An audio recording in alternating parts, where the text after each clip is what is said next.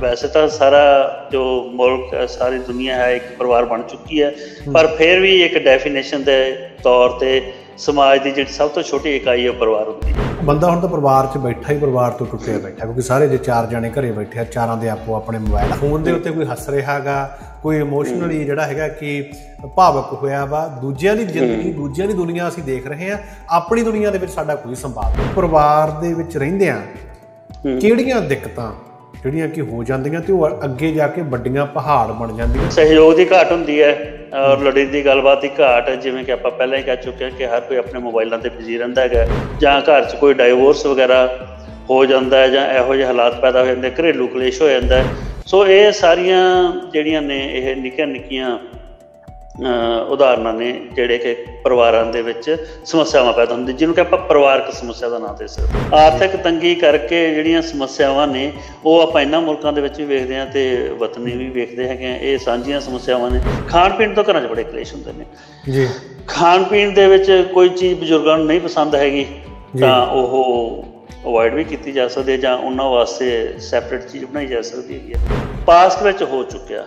ਉਹਦਾ ਤੁਹਾਨੂੰ ਦਰਦ ਪਤਾ ਵੀ ਜਦੋਂ ਕੋਈ ਇਦਾਂ ਦਾ ਬਿਹੇਵ ਕਰਦਾ ਤਾਂ ਉਹਦਾ ਕੀ ਦਰਦ ਹੁੰਦਾ? ਤੁਸੀਂ ਤਾਂ ਉਹ ਨਰਕ ਭੋਗ ਲਿਆ ਤੇ ਹੁਣ ਦੂਜਿਆਂ ਨੂੰ ਤੁਸੀਂ ਖੁਸ਼ੀਆਂ ਵੰਡਦੇ ਜਿੰਨੇ ਵੀ ਸਾਡੇ ਵਿਊਵਰਸ ਨੇ ਆਪਣੇ ਛੋਟੇ ਛੋਟੇ ਬੱਚਿਆਂ ਦੇ ਨਾਲ ਇਹੋ ਜਿਹੀਆਂ ਛੋਟੀ ਛੋਟੀਆਂ ਗੱਲਾਂ ਕਰਕੇ ਤਾਂ ਦੇਖੋ ਮਤਲਬ ਉਹਨਾਂ ਦੇ ਵਿੱਚੋਂ ਇਹੋ ਜਿਹਾ ਕੁਝ ਨਿਕਲ ਕੇ ਬਾਹਰ ਆਉਂਦਾ ਕਿ ਆਪਾਂ ਖੁਦ ਵੀ ਹੈਰਾਨ ਹੋ ਜਾਵਾਂਗੇ ਹੈ? ਸਾਡੇ ਬੱਚੇ 'ਚ ਇੰਨੀ ਕਾਬਲੀਅਤ ਹੈ ਆਪਾਂ ਨੂੰ ਤਾਂ ਪਤਾ ਹੀ ਨਹੀਂ ਸੀ।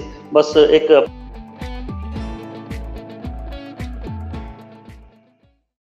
ਐਂਜਡ ਪੰਜਾਬੀ ਨਿਊਜ਼ ਦੇ ਨਾਲ ਜੀਵਨ ਜਾਂਚ ਪ੍ਰੋਗਰਾਮ ਦੇ ਵਿੱਚ ਸਾਂਝ ਪਾ ਰਹੇ तमाम ਦਰਸ਼ਕਾਂ ਦਾ ਮੈਂ ਤਰਨਦੀਪ ਬਲਾਸਪੁਰ ਸਵਾਗਤ ਕਰਦਾ ਹਰ ਵਾਰ ਦੀ ਤਰ੍ਹਾਂ ਸਾਡੇ ਆਪਣੇ ਨਾਲ ਜੁੜੇ ਕਿਸੇ ਮਸਲੇ ਉੱਤੇ ਅਸੀਂ ਗੱਲਬਾਤ ਲੈ ਕੇ ਹਾਜ਼ਰ ਹੁੰਦੇ ਹਾਂ ਅੱਜ ਫੇਰ ਤੁਹਾਡੀ ਕਚਹਿਰੀ ਦੇ ਵਿੱਚ ਹਾਜ਼ਰ ਹੋ ਗਏ ਹਾਂ ਤੇ ਸਾਡੇ ਨਾਲ ਆਸਟ੍ਰੇਲੀਆ ਦੇ ਸ਼ਹਿਰ ਐਡਲੇਟ ਤੋਂ ਰਿਸ਼ੀ ਗੁਲਾਟੀ ਜੀ ਜੁੜ ਚੁੱਕੇ ਨੇ ਆਪਾਂ ਉਹਨਾਂ ਨਾਲ ਅੱਜ ਗੱਲਬਾਤ ਕਰਾਂਗੇ ਇੱਕ ਅਜਿਹੇ ਵਿਸ਼ੇ ਬਾਰੇ ਜਿਸ ਬਾਰੇ ਸਾਡੇ ਮਨ ਦੇ ਵਿੱਚ ਬਹੁਤ ਸਾਰੀਆਂ ਗੱਲਾਂ ਬਾਤਾਂ ਚੱਲਦੀਆਂ ਰਹਿੰਦੀਆਂ ਨੇ, ਅਸੀਂ ਆਪਣੇ ਤਰੀਕੇ ਨਾਲ ਉਹਦੇ ਤੇ ਚਰਚਾ ਵੀ ਕਰਦੇ ਰਹਿੰਦੇ ਹਾਂ, ਖਾਸ ਤੌਰ ਦੇ ਉੱਤੇ ਪਰਿਵਾਰ ਬਾਰੇ, ਪਰਿਵਾਰਕ ਸਮੱਸਿਆਵਾਂ ਬਾਰੇ। ਐਕਚੁਅਲ ਦੇ ਵਿੱਚ ਇਹ ਹੈ ਕੀ ਇਹਦੀ ਡੈਫੀਨੇਸ਼ਨ ਕੀ ਆ ਇਹ ਸਮੱਸਿਆਵਾਂ ਕਿਵੇਂ ਪੈਦਾ ਹੁੰਦੀਆਂ ਨੇ ਤੇ ਇਹਨਾਂ ਦੇ ਵੇਸਕ ਹੱਲ ਕੀ ਨੇ, ਇਹਦੇ ਬਾਬਤ ਆਪਾਂ ਉਹਨਾਂ ਤੋਂ ਜਾਣਕਾਰੀ ਲਵਾਂਗੇ। ਇਹਦੇ ਬਾਬਤ ਉਹਨਾਂ ਨੇ ਆਪਣੀਆਂ ਕਿਤਾਬਾਂ ਦੇ ਵਿੱਚ ਵੀ ਜ਼ਿਕਰ ਕੀਤਾ ਹੋਇਆਗਾ ਤੇ ਅੱਜ ਆਪਾਂ ਉਹਨਾਂ ਤੋਂ ਇਸ ਪਲੇਟਫਾਰਮ ਦੇ ਮਾਧਿਅਮ ਰਾਹੀਂ ਉਹ ਸਾਰਾ ਸੰਖੇਪ ਦੇ ਵਿੱਚ ਸੁਣਾਂਗੇ ਵੀ। ਸੋ ਸਾਡੇ ਨਾਲ ਐਡਲੇਟ ਤੋਂ ਰਿਸ਼ੀ ਜੀ ਜੁੜ ਚੁੱਕੇ ਨੇ, ਉਹਨਾਂ ਦਾ ਸਵਾਗਤ ਕਰਦੇ ਹਾਂ। ਰਿਸ਼ੀ ਜੀ, ਤੁਹਾਡਾ ਸਵਾਗਤ ਹੈ ਜੀ ਆਇਆਂ ਨੂੰ ਜੀਵਨ ਜਾਂਚ ਪ੍ਰੋਗਰਾਮ ਦੇ ਵਿੱਚ ਐਨਜੈਡ ਪੰਜਾਬੀ ਨਿਊਜ਼ ਦੇ ਇਸ ਮੰਚ ਉੱਤੇ ਜੀ। ਸਤਿ ਸ੍ਰੀ ਅਕਾਲ ਤਨਦੀਪ ਜੀ ਸਾਰੇ ਹੀ ਵਿਊਅਰਸ ਨੂੰ ਸਤਿ ਸ੍ਰੀ ਅਕਾਲ। ਤੇ ਅੱਜ ਫੇਰ ਇੱਕ ਵਾਰੀ ਮੈਂ ਤੁਹਾਨੂੰ ਜ਼ਰੂਰ ਵਧਾਈ ਦੇਣੀ ਚਾਹੁੰਦਾ ਹਾਂ ਤੁਹਾਡੀ ਸਾਰੀ ਟੀਮ ਨੂੰ ਐਨਜ਼ੈਡ ਪੰਜਾਬੀ ਨੂੰ ਕਿ ਆਪਣੇ ਭਾਈਚਾਰੇ ਦੇ ਵਿੱਚ ਜਿਹੜੀਆਂ ਫੈਲੀਆਂ ਨੇ ਇਹ ਬਿਮਾਰੀਆਂ ਜਿਹੜੀਆਂ ਕਿ ਬੁਰਾਈਆਂ ਦੇ ਰੂਪ ਦੇ ਵਿੱਚ ਨੇ ਉਹਨਾਂ ਨੂੰ ਤੁਸੀਂ ਲੈ ਕੇ ਆ ਰਹੇ ਹੋ ਔਰ ਉਹਦੇ ਬਾਰੇ ਲੋਕਾਂ 'ਚ ਜਾਗਰੂਕਤਾ ਪੈਦਾ ਕਰਨ ਦੀ ਜਿਹੜੀ ਕੋਸ਼ਿਸ਼ ਹੈ ਉਹ ਬਹੁਤ ਸਾਰਥਕ ਕਦਮ ਹੈ ਜੀ। ਬਹੁਤ ਬਹੁਤ ਮੁਬਾਰਕਬਾਦ। ਜੀ ਮਿਹਰਬਾਨੀ ਸ਼ੁਕਰੀਆ। ਸਾਡੇ ਦਰਸ਼ਕਾਂ ਨੂੰ ਦੱਸ ਦਈਏ ਇਸ ਤੋਂ ਪਹਿਲਾਂ ਵੀ ਅਸੀਂ ਦੋ ਪ੍ਰੋਗਰਾਮ ਰਿਸ਼ੀ ਜੀ ਨਾਲ ਕਰ ਚੁੱਕੇ ਆਂਗੇ ਤੇ ਇਹ ਰਜਿਸਟਰਡ ਥੈਰੇਪਿਸਟ ਨੇ ਤੇ ਇਹਨਾਂ ਨੇ ਬਹੁਤ ਸਾਰੇ ਘਰ ਬਚਾਏ ਨੇ। ਸੋ ਇਹਦੀਆਂ ਬਹੁਤ ਸਾਰੀਆਂ ਸਟੋਰੀਆਂ ਨੇ ਜੇ ਆਪਾਂ ਨੂੰ ਤੋਂ ਸਟੋਰੀਆਂ ਸੁਣਨ ਬੈਠੀਏ ਤਾਂ ਮੈਨੂੰ ਲੱਗਦਾ ਵੀ ਕਈ ਦਿਨ ਲੱਗ ਜਾਣਗੇ ਕਿਸ ਤਰੀਕੇ ਨਾਲ ਮੌਤ ਦੇ ਮੂੰਹ ਦੇ ਵਿੱਚੋਂ ਕੱਢ ਕੇ ਲੈ ਕੇ ਆਏ ਕਿੱਦਾਂ ਕਿੱਦਾਂ ਦੀਆਂ ਦਿੱਕਤਾਂ ਦਾ ਸਾਹਮਣਾ ਕਰ ਰਹੇ ਆ। ਦੂਜੀ ਗੱਲ ਇਹ ਵੀ ਆਸਟ੍ਰੇਲੀਆ ਤੇ ਨਿਊਜ਼ੀਲੈਂਡ ਦੀਆਂ ਬਹੁਤ ਸਾਰੀਆਂ ਸਮੱਸਿਆਵਾਂ ਕਾਮਨ ਨੇ। ਤਾਂ ਉਹਦੇ ਕਰਕੇ ਜੋ ਸਾਡੇ ਨਿਊਜ਼ੀਲੈਂਡ ਦੇ ਦਰਸ਼ਕਾਂ ਨੇ ਦਿੱਕਤਾਂ ਨੇ ਇਹ ਆਸਟ੍ਰੇਲੀਆ 'ਚ ਬਖੂਬੀ ਰੂਪ ਦੇ ਵਿੱਚ ਉਹਨਾਂ ਨੂੰ ਵੀ ਦੇਖਦੇ ਆ ਪਰਖਦੇ ਆ ਸਮਝਦੇ ਆਗੇ ਸੋ ਅੱਜ ਆਪਾਂ ਗੱਲਬਾਤ ਕਰਨੀ ਹੈ ਪਰਿਵਾਰਕ ਸਮੱਸਿਆਵਾਂ ਬਾਰੇ। ਰਿਸ਼ੀ ਜੀ ਮੈਂ ਸਵਾਲ ਪਹਿਲਾਂ ਤੁਹਾਡੇ ਤੋਂ ਇਹੀ ਕਰਦਾ ਕਿ ਆਪਾਂ ਸਾਰੇ ਪਿੰਡਾਂ ਚੋਂ ਆਏ ਆ ਤੁਸੀਂ ਵੀ ਪਿੰਡ ਚੋਂ ਆਏ ਮੈਂ ਵੀ ਪਿੰਡ ਚੋਂ ਆਇਆ। ਸਾਡੇ ਪਿੰਡਾਂ ਵਾਲਿਆਂ ਲਈ ਨਾ ਜੀ ਪਰਿਵਾਰ ਜਿਹੜਾ ਹੈਗਾ ਕਿ ਬਹੁਤ ਇੰਪੋਰਟੈਂਟ ਚੀਜ਼ ਹੁੰਦਾ। ਤੇ ਸੋ ਅਸੀਂ ਜੇ ਸਮਝਦੇ ਸਾਡਾ ਵਜੂਦ ਜਾਂ ਸਾਡੀ ਹੋਂਦ ਅਸੀਂ ਆਪਣੇ ਪਰਿਵਾਰ ਨਾਲ ਹੀ ਜੋੜ ਕੇ ਦੇਖਦੇ ਆ ਆਪਾਂ ਨੇਚਰਲੀ ਆਪਾਂ ਆਫ ਦਾ ਕੈਮਰਾ ਵੀ ਗੱਲਬਾਤ ਕਰਦੇ ਰਹਿੰਦੇ ਆ ਤੁਸੀਂ ਆਪਣੇ ਮਾਤਾ ਜੀ ਨੂੰ ਲੈ ਕੇ ਕਿੰਨੇ ਭਾਵਕ ਸੀ ਉਹ ਪਿੱਛੇ ਹਨਾ ਇਕੱਲੇ ਸੀ ਮੇਰੀ ਵੀ ਤੰਦ ਸਾਂਝੀ ਆ ਤਕਰੀਬਨ ਚੀਜ਼ਾਂ ਨੇ। ਸੋ ਹੁਣ ਜੇ ਆਪਣੇ ਐਂਗਲ ਤੋਂ ਇੱਕ ਸਾਂਝੀ ਜੀ ਗੱਲ ਕਰਨੇ ਹੋ ਮੋਸਟਲੀ ਸਾਡੇ ਵਿਊਅਰ ਵੀ ਮਤਲਬ ਪਿੰਡਾਂ ਵਾਲੇ ਹੀ ਆ ਪਿੰਡਾਂ ਤੋਂ ਹੀ ਜ਼ਿਆਦਾ ਆਏ ਨੇ ਜੀ ਹੈਨਾ? ਤੇ ਸ਼ਹਿਰਾਂ ਵਾਲਿਆਂ ਲਈ ਕਿਉਂਕਿ ਪਰਿਵਾਰ ਜਿਹੜੇ ਨਿਊਕਲੀਅਰ ਹੋ ਗਏ ਛੋਟੇ ਹੋ ਗਏ ਸਾਡੇ ਅਸੀਂ ਵੱਡੇ ਪਰਿਵਾਰ ਵੀ ਦੇਖੇ ਆ ਜਾਂ ਆਪ ਨਹੀਂ ਜੇ ਸਾਡਾ ਪਰਿਵਾਰ ਛੋਟਾ ਤਾਂ ਗਾਹੇ ਬਗਾਹੇ ਚਾਚਿਆਂ ਦੇ ਤਾਇਆਂ ਦੇ ਜਣੀ ਮਤਲਬ ਇਦਾਂ ਦੇਖੇ ਆ ਜੀ ਹੈਨਾ? ਮੈਂ ਤੁਹਾਡੇ ਤੋਂ ਪਹਿਲਾਂ ਤਾਂ ਇਹ ਜਾਣਨਾ ਚਾਹੁੰਦਾ ਵੀ ਆਪਾਂ ਪਰਿਵਾਰਕ ਸਮੱਸਿਆਵਾਂ ਵੱਲ ਆਈਏ ਪਰਿਵਾਰ ਤੁਹਾਡੀ ਨਜ਼ਰ ਦੇ ਵਿੱਚ ਕੀ ਆ? ਪਰਿਵਾਰ ਦੀ ਕੀ ਅਹਿਮੀਅਤ ਹੈ? ਜੇ ਡੈਫੀਨੇਸ਼ਨ ਦੇਣੀ ਹੋਵੇ ਪਰਿਭਾਸ਼ਾ ਦੇਣੀ ਹੋਵੇ ਕੀ ਪਰਿਵਾਰ ਦੀ ਆਪਾਂ ਦੇ ਸਕਦੇ ਹਾਂ? ਆਪਣੇ ਸਮਾਜ ਦੀ ਸਭ ਤੋਂ ਛੋਟੀ ਇਕਾਈ ਪਰਿਵਾਰ ਹੁੰਦੀ ਹੈ ਜੀ। ਜੀ। ਜਿਵੇਂ ਪਹਿਲਾਂ ਪਰਿਵਾਰ ਹੁੰਦਾ ਹੈ ਆਂਡ ਗਵਾਂਡ ਮਿਲਦਾ ਹੈ ਗਲੀ ਮੁਹੱਲਾ ਬਣ ਜਾਂਦਾ ਹੈ ਸ਼ਹਿਰ ਪਿੰਡ ਬਣ ਜਾਂਦੇ ਨੇ ਸਮਾਜ ਬਣ ਜਾਂਦਾ ਹੈ ਦੇਸ਼ ਦੀਆਂ ਹੱਦਾਂ ਫਿਰ ਅੰਤਰਰਾਸ਼ਟਰੀ ਪੱਧਰ ਤੇ ਆ ਜਾਂਦੇ ਆ। ਵੈਸੇ ਤਾਂ ਅੱਜ ਕੱਲ ਦੇਖਿਆ ਜਾਵੇ ਤਾਂ ਜਿਹੜਾ ਮੌਜੂਦਾ ਜ਼ਮਾਨਾ ਚੱਲ ਰਿਹਾ ਹੈਗਾ ਤਾਂ ਸਾਰੀ ਦੁਨੀਆ ਹੀ ਇੱਕ ਪਰਿਵਾਰ ਬਣੀ ਖੜੀ ਹੈ। ਕੋਈ ਆਪਾਂ ਇੱਕ ਦੂਜੇ ਤੋਂ ਬਹੁਤ ਹੀ ਦੂਰ ਨਹੀਂ ਹੈਗੇ। ਹੁਣ ਦੇਖਿਆ ਦੇਖਿਆ ਜਾਵੇ ਤਾਂ ਆਪਾਂ ਥਾਊਜ਼ੈਂਡਸ ਆਫ ਕਿਲੋਮੀਟਰ ਅਵੇ ਹੈਗੇ ਇੱਕ ਦੂਸਰੇ ਤੋਂ। ਬਟ ਲੱਗ ਨਹੀਂ ਰਿਹਾ। ਐਦਾਂ ਲੱਗ ਰਿਹਾ ਕਿ ਜਿਵੇਂ ਸਾਹਮਣੇ ਬੈਠ ਕੇ ਗੱਲਬਾਤ ਕੀਤੀ ਜਾ ਰਹੀ ਹੈ। ਇਸੇ ਤਰ੍ਹਾਂ ਆਪਣੇ ਵਿਊਵਰਸ ਨੂੰ ਵੀ ਇਦਾਂ ਹੀ ਜਾਪ ਰਿਹਾ ਹੋਵੇਗਾ ਕਿ ਜਿਵੇਂ ਸਾਹਮਣੇ ਬੈਠ ਕੇ ਗੱਲਬਾਤ ਕੀਤੀ ਜਾ ਰਹੀ ਹੈ। ਸੋ ਜੇਕਰ ਛੋਟੇ ਸ਼ਬਦਾਂ 'ਚ ਗੱਲ ਕਰੀਏ ਤਾਂ ਵੈਸੇ ਤਾਂ ਸਾਰਾ ਜੋ ਮੁਲਕ ਸਾਰੀ ਦੁਨੀਆ ਹੈ ਇੱਕ ਪਰਿਵਾਰ ਬਣ ਚੁੱਕੀ ਹੈ। ਪਰ ਫਿਰ ਵੀ ਇੱਕ ਡੈਫੀਨੇਸ਼ਨ ਦੇ ਤੌਰ ਤੇ ਸਮਾਜ ਦੀ ਜਿਹੜੀ ਸਭ ਤੋਂ ਛੋਟੀ ਇਕਾਈ ਹੈ ਪਰਿਵਾਰ ਹੁੰਦੀ ਹੈ। ਜੀ ਬਿਲਕੁਲ ਹਾਂਜੀ ਮਿਹਰਬਾਨੀ ਜੀ। ਸੋ ਇੱਕ ਚੀਜ਼ ਹੋਰ ਵੀ ਹੈ ਜੀ ਅੱਜ ਜਿਵੇਂ ਹੁਣ ਨਾ ਟੈਕਨੋਲੋਜੀ ਦਾ ਜ਼ਮਾਨਾ ਆ ਗਿਆ। ਬੰਦਾ ਹੁਣ ਤਾਂ ਪਰਿਵਾਰ 'ਚ ਬੈਠਾ ਹੀ ਪਰਿਵਾਰ ਤੋਂ ਟੁੱਟਿਆ ਬੈਠਾ ਕਿਉਂਕਿ ਸਾਰੇ ਜੇ ਚਾਰ ਜਣੇ ਘਰੇ ਬੈਠੇ ਆ ਚਾਰਾਂ ਦੇ ਆਪੋ ਆਪਣੇ ਮੋਬਾਈਲ ਆਪਾਂ ਵੀ ਕਿਸੇ ਹੱਦ ਤੱਕ ਕਈ ਵਾਰੀ ਉਸ ਤਰੀਕੇ ਦੇ ਸਿਰਜੇ ਹੋਏ ਮਾਹੌਲ ਦਾ ਹਿੱਸਾ ਬਣ ਜਾਂਦੇ ਆ ਹਨਾ ਜੀ? ਬਿਲਕੁਲ ਕਈ ਵਾਰੀ ਆਪਣੇ ਆਪ ਨੂੰ ਨਾ ਇੱਕ ਗਲਾਨੀ ਜੀ ਆਉਂਦੀ ਹੈ ਜਦੋਂ ਆਪਾਂ ਬੈਠੇ ਹੋਈਏ ਤੇ ਆਪਾਂ ਬੈਠੇ ਆ ਅੱਧਾ ਘੰਟਾ ਕੋਈ ਗੱਲ ਹੀ ਨਹੀਂ ਕਰਦਾ। ਫੋਨ ਦੇ ਉੱਤੇ ਕੋਈ ਹੱਸ ਰਿਹਾਗਾ ਕੋਈ ਇਮੋਸ਼ਨਲੀ ਜਿਹੜਾ ਹੈਗਾ ਕਿ ਭਾਵਕ ਹੋਇਆ ਵਾ ਦੂਜਿਆਂ ਦੀ ਜ਼ਿੰਦਗੀ ਦੂਜਿਆਂ ਦੀ ਦੁਨੀਆ ਅਸੀਂ ਦੇਖ ਰਹੇ ਹਾਂ ਆਪਣੀ ਦੁਨੀਆ ਦੇ ਵਿੱਚ ਸਾਡਾ ਕੋਈ ਸੰਵਾਦ ਨਹੀਂ ਹੈਗਾ। ਆਪਣੀ ਦੁਨੀਆ 'ਚ ਕੋਈ ਸੰਵਾਦ ਅੱਜ ਨਾ ਇੱਕ ਸਵੇਰ ਜਦੋਂ ਮੈਂ ਸੋਸ਼ਲ ਮੀਡੀਆ ਦੇਖ ਰਿਹਾ ਸੀ ਤਾਂ ਇੱਕ ਕਾਰਟੂਨ ਨਜ਼ਰੀ ਪਿਆ। ਦੋ ਬਰਡ ਹੈ ਉਹ ਨਾ ਤਾਰ ਤੇ ਬੈਠੇ ਗੱਲਾਂ ਕਰਦੇ ਪਏ ਆ। ਇੱਕ ਕਹਿੰਦਾ ਵੀ ਉਹ ਜਿਹੜਾ ਥੱਲੇ ਹੈ ਨਾ ਕਹਿੰਦਾ ਉਹ ਅਸਲ ਬੰਦਾ ਨਹੀਂ ਉਹ ਡਰਨਾ ਗੱਡਿਆ ਹੋਇਆ। ਦੂਜਾ ਕਹਿੰਦਾ ਵੀ ਤੂੰ ਇੰਨੇ ਭਰੋਸੇ ਨਾਲ ਕਿਵੇਂ ਕਹਿ ਰਿਹਾ ਕਹਿੰਦਾ ਉਹਦੇ ਹੱਥ 'ਚ ਮੋਬਾਈਲ ਹੈ ਨਹੀਂਗਾ ਜੀ। ਦੇਖੋ ਮਤਲਬ ਕਿੱਡੀ ਛੋਟੀ ਜੀ ਸਧਾਰਨ ਜੀ ਗੱਲ ਕੀਤੀ ਹੈ ਬਟ ਉਹਦੇ ਮੀਨਿੰਗਸ ਕਿੰਨੇ ਡੂੰਘੇ ਨੇ ਔਰ ਇੱਕ ਇਹ ਵੀ ਸਚਾਈ ਹੈ ਤਰਨਦੀਪ ਜੀ ਕਿ ਜੋ ਖੁਸ਼ੀ ਸਾਨੂੰ ਆਪਣੇ ਪਰਿਵਾਰ ਦੇ ਵਿੱਚ ਬੈਠ ਕੇ ਮਿਲਦੀ ਸੀ, ਉਹ ਹੁਣ ਬੇਸ਼ੱਕ 5-5000 ਬੰਦਿਆਂ ਦਾ ਪਰਿਵਾਰ ਸੋਸ਼ਲ ਮੀਡੀਆ ਤੇ ਹੋ ਗਿਆ ਹੋਊਗਾ ਕਿਸੇ ਦਾ ਬਟ ਉਹ ਖੁਸ਼ੀ ਉੱਥੇ ਨਹੀਂ ਹੈਗੀ। ਇੱਕ ਉਹ ਚੁਟਕਲਾ ਵੀ ਆਉਂਦਾ ਨਾ, ਜਿਵੇਂ ਕਹਿੰਦੇ ਭਈ ਤੁਹਾਡੇ ਵੀਰ ਨੂੰ ਠਿੱਠ ਕਰਦੇ ਪਏ ਆ ਸ਼ਰੀਕ ਪਾਣੀ ਨਹੀਂ ਵੱਢਣ ਦਿੰਦੇਗੇ ਤੇ ਉਹ ਥੱਲੇ ਆ ਗਿਆ ਬਾਈ ਤੂੰ ਫਿਕਰ ਨਾ ਕਰ ਆਪਾਂ ਤੇਰੇ ਨਾਲ ਆ ਹੈਨਾ? ਜੀ ਤੇ ਉਹ ਜਾ ਕੇ ਫਿਰ ਪਾਣੀ ਵੱਢ ਲੈਂਦਾ ਤੇ ਜਿਹੜੇ ਸ਼ਰੀਕ ਹੁੰਦੇ ਆ ਫੜ ਕੇ ਢਾ ਲੈਂਦੇ ਬੱਕਰੇ ਵਾਂਗੂ। ਜੀ। ਤੇ ਮਾਂਜਾ ਮਜਾਈ ਕਰਕੇ ਉਹ ਫਿਰ ਵਾਪਸ ਆਉਂਦਾ ਤੇ ਸਟੇਟਸ ਪਾਉਂਦਾ ਕਹਿੰਦਾ ਵੀ ਮੇਰੇ ਸ਼ਰੀਕ ਫੇਸਬੁੱਕ ਤੇ ਹੈ ਨਹੀਂ ਕਿ ਨਹੀਂ ਤੁਹਾਨੂੰ ਪਤਾ ਲੱਗ ਜਾਂਦਾ ਭਾਈ ਪੰਗਾ ਲੈਣ ਦਾ ਕੀ ਮਤਲਬ ਹੁੰਦਾ। ਜੀ। ਇੱਕ ਹੋਰ ਗੱਲ ਆ ਜੀ ਪਿਛਲੇ ਦਿਨ ਨਾ ਇਹ ਇਸ ਕੋਵਿਡ ਦਰਮਿਆਨ ਇਹ ਚੀਜ਼ ਆਈ ਸਾਹਮਣੇ। ਉਹ ਕਹਿੰਦੇ ਵੀ ਆਪਸ ਵਿੱਚ ਕਹਿੰਦੇ ਵੀ ਯਾਰ ਅਸੀਂ ਇੱਕ ਦਿਨ ਫੋਨ ਪਾਸੇ ਰੱਖ ਕੇ ਘਰਦਿਆਂ ਨੇ ਗੱਲਾਂ ਕੀਤੀਆਂ। ਮੈਨੂੰ ਤਾਂ ਅੱਜ ਪਤਾ ਲੱਗਿਆ ਵੀ ਸਾਡੇ ਘਰ ਦੇ ਤਾਂ ਬੰਦੇ ਬੜੇ ਚੰਗੇ ਆ ਜੀ ਹਨਾ? ਉਹ ਬੜੇ ਚੰਗੇ। ਹਾਂਜੀ ਹਾਂ। ਉਹ ਹਾਂ। ਅਸੀਂ ਆਪੋ ਆਪਣੀ ਦੁਨੀਆ 'ਚ ਗਵਾਚੇ ਹੋਏ ਆ। ਤੇ ਮੈਨੂੰ ਲੱਗਦਾ ਵੀ ਇਹਦੇ ਕਰਕੇ ਦਿੱਕਤਾਂ ਵੀ ਸਾਡੀਆਂ ਵੱਡੀਆਂ ਹੋ ਗਈਆਂ। ਇਸੇ ਕਰਕੇ ਆ ਟੌਪਿਕ ਲੈ ਕੇ ਪਰਿਵਾਰਕ ਸਮੱਸਿਆਵਾਂ। ਹੈ ਨਾ ਜੀ? ਹਾਂ ਬਿਲਕੁਲ। ਔਰ ਇੱਕ ਚੀਜ਼ ਹੋਰ ਹੈ ਤਰਨਦੀਪ ਜੀ ਜਿਵੇਂ ਸਾਹਮਣੇ ਬੈਠ ਕੇ ਕਿਸੇ ਨਾਲ ਗੱਲਬਾਤ ਕੀਤੀ ਜਾਂਦੀ ਹੈ ਜਾਂ ਫੋਨ ਤੇ ਗੱਲਬਾਤ ਕੀਤੀ ਜਾਂਦੀ ਹੈ ਤਾਂ ਉੱਥੇ ਜੋ ਗੱਲ ਦੀ ਟੋਨ ਹੈ ਉਹ ਸਮਝ ਚ ਆ ਜਾਂਦੀ ਹੈ ਬੰਦਾ ਕਹਿਣਾ ਕੀ ਚਾਹੁੰਦਾ ਹੈਗਾ। ਹੁਣ ਜਿਵੇਂ ਅੱਜ ਕੱਲ ਚੈਟ ਬਹੁਤ ਚੱਲਦੀ ਹੈਗੇ ਮੈਨੂੰ ਚੈਟ ਨਹੀਂ ਵਧੀਆ ਲੱਗਦੀ ਕਿ ਨਿੱਜੀ ਤੌਰ ਤੇ ਕਿਸੇ ਨਾਲ ਕਰਨੀ। ਈਵਨ ਕਈ ਕਲਾਇੰਟਸ ਵੀ ਸਵਾਲ ਪੁੱਛਣਾ ਚਾਹੁੰਦੇ ਨੇ ਮੈਂ ਉਹਨਾਂ ਨੂੰ ਇਹੀ ਕਹਿੰਦਾ ਵੀ ਸੌਰੀ ਮੈਂ ਚੈਟ ਨਹੀਂ ਕਰ ਸਕਦਾ। ਤੁਸੀਂ ਫੋਨ ਬੇਸ਼ੱਕ ਕਰ ਲਓ। ਹਾਲਾਂਕਿ ਫੋਨ ਕਰਨ ਵਾਸਤੇ ਟਾਈਮ ਕੱਢਣਾ ਇਹ ਉਹ ਇਹ ਇਹ ਚੀਜ਼ਾਂ ਨੂੰ ਥੋੜੇ ਦਿੱਕਤ ਮੰਨਦੇ ਲੋਕ ਪਰ ਮੈਨੂੰ ਕੰਫਰਟੇਬਲ ਫੀਲ ਹੁੰਦਾ ਹੈ ਰਾਦਰ ਦੈਨ ਚੈਟ ਕਿਉਂਕਿ ਚੈਟ ਤੇ ਜੋ ਵੀ ਮੈਸੇਜ ਟਾਈਪ ਕਰਕੇ ਭੇਜਿਆ ਜਾਂਦਾ ਉਸ ਦਾ ਜਿਹੜਾ ਮਤਲਬ ਹੈ ਜਾਂ ਉਸ ਗੱਲ ਦੀ ਜਿਹੜੀ ਟੋਨ ਹੈ ਉਹ ਅੱਗੇ ਪੜਨ ਵਾਲਾ ਬੰਦਾ ਆਪਦੀਆਂ ਭਾਵਨਾਵਾਂ ਦੇ ਮੁਤਾਬਕ ਲੈਂਦਾ ਗੱਲ ਹੋ ਸਕਦਾ ਕਿ ਜਿਹੜਾ ਬੰਦਾ ਮੈਸੇਜ ਕਰ ਰਿਹਾ ਉਸ ਨੇ ਵਧੀਆ ਭਾਵਨਾਵਾਂ ਦੇ ਨਾਲ ਕੋਈ ਸੁਨੇਹਾ ਦਿੱਤਾ ਹੋਵੇ ਜਾਂ ਕੋਈ ਗੱਲ ਕਹੀ ਹੋਵੇ ਬਟ ਜਿਹੜਾ ਸਾਹਮਣਾ ਹੈਗਾ ਉਹ ਬੰਦਾ ਇਹ ਆਸ ਕਰਦਾ ਹੋਵੇ ਕਿ ਫਲਾਣਾ ਤਾਂ ਮੇਰੇ ਗੱਲ ਪਊਗਾ ਹੀ ਪਊਗਾ ਤੇ ਉਹ ਇੱਕ ਸਧਾਰਨ ਜਿਹੀ ਗੱਲ ਨੂੰ ਵੀ ਆਪਦੇ ਨਜ਼ਰੀਏ ਤੋਂ ਵੇਖ ਲਵੇ ਤੇ ਉਸ ਨੂੰ ਗਲਤ ਸਮਝ ਲਵੇ। ਤੇ ਉਸ ਚੀਜ਼ ਦੇ ਨਾਲ ਫਿਰ ਜਿਹੜੀ ਆਪਸ ਗਲਤਫਹਿਮੀਆਂ ਪੈਦਾ ਹੋ ਸਕਦੀਆਂ ਨੇ। ਜੀ ਹੁਣ ਆਪਾਂ ਅੱਗੇ ਚੱਲ ਗਏ ਰਿਸ਼ੀ ਜੀ ਇਹ ਹਾਂ। ਪਰਿਵਾਰ ਆਪਾਂ ਪਰਿਵਾਰ ਦੀ ਗੱਲ ਤਾਂ ਕਰ ਲਈ ਵੀ ਇਹ ਸਮਾਜ ਦੀ ਸਭ ਤੋਂ ਛੋਟੀ ਇਕਾਈ ਹੈ ਇਹ ਤੋਂ ਅੱਗੇ ਸਮਾਜ ਤੁਰਦਾ ਹੈ ਨਾ ਜੀ।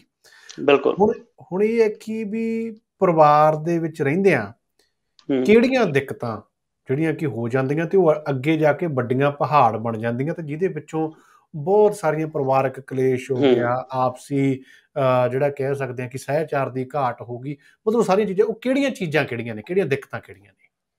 ਹਾਂਜੀ, ਇਹ ਇੱਕ ਗੱਲ ਤਾਂ ਇਹ ਹੈ ਜੀ, ਕੋਈ ਵੀ ਅਜਿਹਾ ਪਰਿਵਾਰ ਨਹੀਂ ਹੁੰਦਾ ਜਿੱਥੇ ਕਿ ਮਾੜੀ ਮੋਟੀ ਦਿੱਕਤ ਨਹੀਂ ਹੁੰਦੀ, ਬਟ ਇਸ ਦਾ ਮਤਲਬ ਇਹ ਨਹੀਂ ਹੈ ਵੀ ਉਹ ਸਾਰਾ ਪਰਿਵਾਰ ਹੀ ਬੁਰਾ ਹੋ ਗਿਆ ਜਾਂ ਫਿਰ ਉਸ ਪਰਿਵਾਰ ਦੇ ਮੈਂਬਰ ਉਹ ਬੁਰੇ ਹੋ ਗਏ ਇਸ ਚੀਜ਼ ਨੂੰ ਦੂਜਿਆਂ ਦੁਆਰਾ ਜੱਜ ਨਹੀਂ ਕੀਤਾ ਜਾਣਾ ਚਾਹੀਦਾ, ਜੇਕਰ ਕੋਈ ਬੰਦਾ ਕਿਸੇ ਹੋਰ ਦੇ ਪਰਿਵਾਰ ਦੇ ਵਿੱਚ ਕੋਈ ਦਿੱਕਤ ਵੇਖਦਾ ਤਾਂ ਇਹ ਇਹ ਕਾਫੀ ਇੰਪੋਰਟੈਂਟ ਗੱਲ ਹੈ।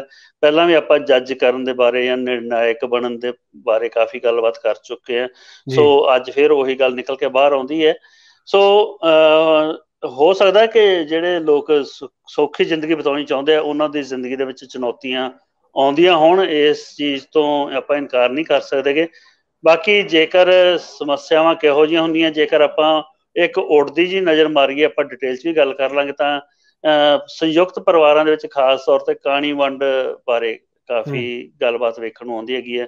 ਤਕਰਾਰਾਂ ਦੀ ਪਰਿਵਾਰਾਂ ਵਿੱਚ ਬੱਚਿਆਂ ਦੇ ਪਾਲਣ ਪੋਸ਼ਣ ਸੰਬੰਧੀ ਫੈਸਲੇ ਜਾਂ ਫਿਰ ਘਰ ਤੇ ਕੰਮਕਾਜੀ ਜੀਵਨ ਵਿੱਚ ਸੰਤੁਲਨ ਇਹ ਕੰਪਲੇਂਟ ਹੈ ਨਾ ਤੰਦੀਪ ਜੀ ਜਿਹੜੀ ਘਰ ਤੇ ਕੰਮ ਕਾਜ ਵਾਲੇ ਜੀਵਨ ਦੇ ਵਿੱਚ ਸੰਤੁਲਨ ਹੈ। ਇਹ ਵਿਦੇਸ਼ਾਂ ਦੇ ਵਿੱਚ ਬਹੁਤ ਜ਼ਿਆਦਾ ਵੇਖਣ ਨੂੰ ਆਉਂਦੀ ਹੈਗੀ ਹੈ। ਜੀ। ਸਹਿਯੋਗ ਦੀ ਘਾਟ ਹੁੰਦੀ ਹੈ ਔਰ ਲੜੀ ਦੀ ਗੱਲਬਾਤ ਦੀ ਘਾਟ ਜਿਵੇਂ ਕਿ ਆਪਾਂ ਪਹਿਲਾਂ ਹੀ ਕਹਿ ਚੁੱਕੇ ਹਾਂ ਕਿ ਹਰ ਕੋਈ ਆਪਣੇ ਮੋਬਾਈਲਾਂ ਤੇ ਬਿਜ਼ੀ ਰਹਿੰਦਾ ਹੈਗਾ। ਸੋ ਕਈ ਵਾਰੀ ਬੇਲੋੜਾ ਤਣਾਅ ਪੈਦਾ ਹੋ ਜਾਂਦਾ ਨਿੱਕੀ ਨਿੱਕੀਆਂ ਗੱਲਾਂ ਦਾ ਕੰਮ ਦਾ ਬੋਝ ਹੁੰਦਾ ਹੈ ਪਰਿਵਾਰ ਤੋਂ ਕਈ ਵਾਰੀ ਇੱਕ ਮੈਂਬਰ ਨੂੰ ਦੂਰ ਰਹਿਣਾ ਪੈਂਦਾ ਉਹ ਵੀ ਕਿਸੇ ਨਾ ਕਿਸੇ ਪਰਿਵਾਰਕ ਸਮੱਸਿਆ ਦਾ ਕਾਰਨ ਬਣ ਜਾਂਦਾ ਬਿਮਾਰੀ ਹੁੰਦੀ ਘਰ 'ਚ ਜਾਂ ਘਰ 'ਚ ਕੋਈ ਡਾਈਵੋਰਸ ਵਗੈਰਾ ਹੋ ਜਾਂਦਾ ਹੈ ਜਾਂ ਇਹੋ ਜਿਹੇ ਹਾਲਾਤ ਪੈਦਾ ਹੋ ਜਾਂਦੇ ਘਰੇਲੂ ਕਲੇਸ਼ ਹੋ ਜਾਂਦਾ। ਸੋ ਇਹ ਸਾਰੀਆਂ ਜਿਹੜੀਆਂ ਨੇ ਇਹ ਨਿੱਕੀਆਂ ਨਿੱਕੀਆਂ ਉਦਾਹਰਨਾਂ ਨੇ ਜਿਹੜੇ ਕਿ ਪਰਿਵਾਰਾਂ ਦੇ ਵਿੱਚ ਸਮੱਸਿਆਵਾਂ ਪੈਦਾ ਹੁੰਦੀਆਂ ਜਿਹਨੂੰ ਕਿ ਆਪਾਂ ਪਰਿਵਾਰਕ ਸਮੱਸਿਆ ਦਾ ਨਾਂ ਦੇ ਸਕਦੇ ਜੀ। ਸੋ ਇਹਦੇ ਗੱਲ ਤਾਂ ਤੁਹਾਡੀ ਜਿਵੇਂ ਤੁਸੀਂ ਸ਼ੁਰੂਆਤ 'ਚ ਕਿਹਾ ਫਿਰ ਵੀ ਆਪਣੇ ਕਹਿੰਦੇ ਵੀ ਜਿੱਥੇ ਦੋ ਭਾਂਡੇ ਹੋਣ ਭਾਂਡੇ ਖੜਕਦੇ ਹੀ ਹੁੰਦੇ ਆ ਜੀ ਹੈਨਾ? ਸੋ ਦਿੱਕਤਾਂ ਦੀ ਜੇ ਆਪਾਂ ਗੱਲ ਕਰੀਏ ਵੀ ਦਿੱਕਤਾਂ ਵੱਡੀਆਂ ਕਿ ਬਣਨ ਸਾਡੇ ਹੁਣ ਗਵਾਂਢ ਦੇ ਵਿੱਚ ਆ ਅਸੀਂ ਮਾਸੀ ਕਹਿੰਦੇ ਹੈਗੇ ਉਹਨਾਂ ਤਿੰਨ ਪੁੱਤ ਨੇ ਉਹ ਤਿੰਨੇ ਪੁੱਤ ਜਿਹੜੇ ਹੈਗੇ ਆ ਕਿ ਆਪਸ ਵਿੱਚ ਲੜ ਵੀ ਪੈਂਦੇ ਆ ਜਦੋਂ ਪੁੱਤ ਹੋਣਗੇ ਆਪਸ ਵਿੱਚ ਹੁਣ ਉਹ ਵੀ ਗਾਂ ਨਿਆਣਿਆਂ ਵਾਲੇ ਆ ਤਾਂ ਉਹਨਾਂ ਦੀ ਮਾਂ ਇੱਕ ਸ਼ਬਦ ਕਹਿੰਦੀ ਹੁੰਦੀ ਸੀ ਰਾਤ ਨੂੰ ਵੀ ਪੁੱਤ ਲੜਨ ਰਾਤ ਆਵੇ ਵਿਛੜਨ ਰਾਤ ਨਾ ਆਵੇ।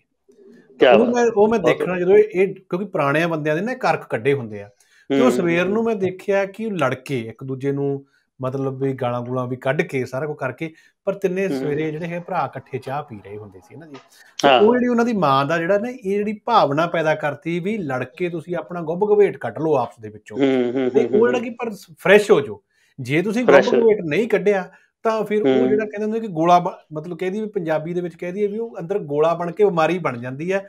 ਉਹ ਬਿਮਾਰੀ ਫਿਰ ਇੰਨੀ ਘਾਤਕ ਹੋ ਜਾਂਦੀ ਹੈ ਵੀ ਫਿਰ ਉਹਦੀਆਂ ਸਮੱਸਿਆਵਾਂ ਵੱਡੀਆਂ ਹੋ ਜਾਂਦੀਆਂ ਜੀ ਹਨਾ। ਤੁਹਾਨੂੰ ਯਾਦ ਹੋਣਾ ਤੰਦੀਪ ਜੀ ਜਦੋਂ ਆਪਾਂ ਡੋਮੈਸਟਿਕ ਵਾਇਲੈਂਸ ਤੇ ਗੱਲਬਾਤ ਕੀਤੀ ਸੀਗੀ ਉਹਦੇ ਵਿੱਚ ਇਹ ਗੱਲ ਵੀ ਆਪਾਂ ਸੁਜੈਸਟ ਕੀਤਾ ਸੀ ਆਪਣੇ ਵਿਊਵਰਸ ਨੂੰ ਉਹਨਾਂ ਨੂੰ ਰਿਮਾਈਂਡ ਕਰਵਾ ਦਿੰਨੇ ਆ ਉਹ ਟੈਕਨੀਕ ਕਿ ਭਾਈ ਤੁਸੀਂ ਆਪਣਾ ਮੋਬਾਈਲ ਲੈ ਲਓ ਤੇ ਇਕੱਲੇ ਬੈਠ ਕੇ ਉਹਦੇ ਵਿੱਚ ਜੋ ਮਰਜ਼ੀ ਬੋਲੀ ਜਾਓ ਜੋ ਤੁਹਾਨੂੰ ਚੰਗਾ ਲੱਗਦਾ ਹੈਗਾ ਜਾਂ ਫਿਰ ਤੁਸੀਂ ਬੀਚ ਤੇ ਚੱਲ ਜਾਓ ਕਿਤੇ ਇਹੋ ਜਿਹੀ ਥਾਂ ਤੇ ਚੱਲ ਜਾਓ ਜਿੱਥੇ ਤੁਸੀਂ ਇਕੱਲੇ ਹੋ ਉੱਥੇ ਜਾ ਕੇ ਤੁਸੀਂ ਉੱਚੀ ਉੱਚੀ ਚੀਕਾਂ ਮਾਰੋ ਉੱਚੀ ਉੱਚੀ ਰੋਲੋ ਜਾਂ ਫਿਰ ਬੁਰਾ ਭਲਾ ਬੋਲਣਾ ਮੰਦੇ ਸ਼ਬਦਾਂ ਦਾ ਇਸਤੇਮਾਲ ਕਰਨਾ ਉਹ ਜੋ ਮਰਜ਼ੀ ਕਰੀ ਜਾਓ। ਸੋ ਉਹ ਵੀ ਇਹੀ ਚੀਜ਼ ਸੀ ਵੀ ਗੁੱਬ ਗੁਬਾਟ ਨਿਕਲ ਜਾਵੇ।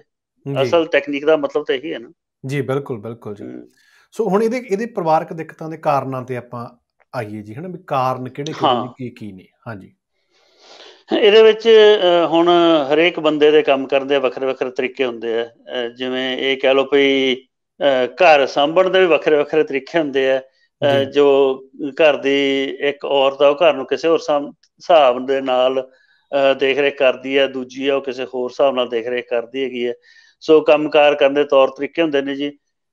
ਕਈ ਵਾਰੀ ਨਾ ਜਦੋਂ ਬੱਚੇ ਛੋਟੇ ਹੁੰਦੇ ਆ ਤੇ ਉਹਨਾਂ ਦੇ ਵਿੱਚ ਈਰਖਾ ਦੀਆਂ ਭਾਵਨਾਵਾਂ ਪੈਦਾ ਹੋ ਸਕਦੀਆਂ ਨੇ ਜਾਂ ਛੋਟੇ ਬੱਚੇ ਲੜਦੇ ਵੀ ਨੇ। ਔਰ ਇਹ ਵੀ ਤਰਦੀਪ ਜੀ ਅਕਸਰ ਵੇਖਣ ਦੇ ਵਿੱਚ ਆਇਆ ਵੀ ਜਿਹੜੇ ਚਾਚੇ ਤਾਏ ਦੇ ਜਦੋਂ ਲੜਦੇ ਆ ਨਾ ਤਾਂ ਕਈ ਵਾਰੀ ਉਹਨਾਂ ਦੇ ਪਿਓ ਤਾਂ ਸਮਾਈ ਰੱਖਦੇ ਪਰ ਮਾਵਾਂ ਜ਼ਰੂਰ ਆਪਸ ਦੇ ਵਿੱਚ ਆਡਾ ਲਾ ਲੈਂਦੀਆਂ ਹੈਗੀਆਂ ਜਿਹੜੇ ਕਿ ਬਾਅਦ ਦੇ ਵਿੱਚ ਕਾਫੀ ਵੱਡੀਆਂ ਪ੍ਰੋਬਲਮਸ ਦਾ ਕਾਰਨ ਬਣ ਜਾਂਦਾ ਹੈਗਾ। ਸੋ ਮਾਪਿਆਂ ਦੀ ਆਪਸੀ ਤਕਰਾਰ ਹੋ ਸਕਦੀ ਹੈਗੀ ਹੈ? ਜਾਂ ਕਈ ਵਾਰੀ ਮਤਰੇ ਮਾਪੇ ਹੁੰਦੇ ਆ ਜਾਂ ਫਿਰ ਭੈਣ ਭਰਾ ਹੁੰਦੇ ਆ ਉਹ ਵੀ ਕੁਝ ਕਾਰਨ ਬਣ ਜਾਂਦੇ ਹੈਗੇ ਆ।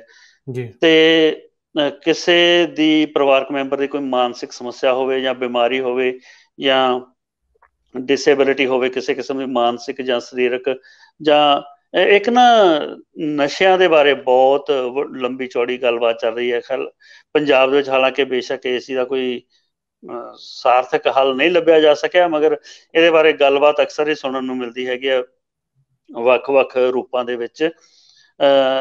ਨਸ਼ਿਆਂ ਦਾ ਕੋਈ ਆਦੀ ਹੋਵੇ ਨਾ ਪਰਿਵਾਰਕ ਮੈਂਬਰ ਤਾਂ ਖਾਸ ਤੌਰ ਤੇ ਸੰਯੁਕਤ ਪਰਿਵਾਰਾਂ ਦੇ ਵਿੱਚ, ਤਾਂ ਉੱਥੇ ਵੀ ਬਹੁਤ ਸਾਰੀਆਂ ਸਮੱਸਿਆਵਾਂ ਦਾ ਕਾਰਨ ਬਣ ਸਕਦਾ ਖਾਸ ਤੌਰ ਜੋ ਘਰ ਸਾਂਝਾ ਹੁੰਦਾ ਮੇਰੇ ਨਾ ਤਰਦੀਪ ਜੀ ਵੇਖਣ ਦੇ ਵਿੱਚ ਇੱਕ ਇਹੋ ਜਿਹਾ ਪਰਿਵਾਰ ਆਇਆ।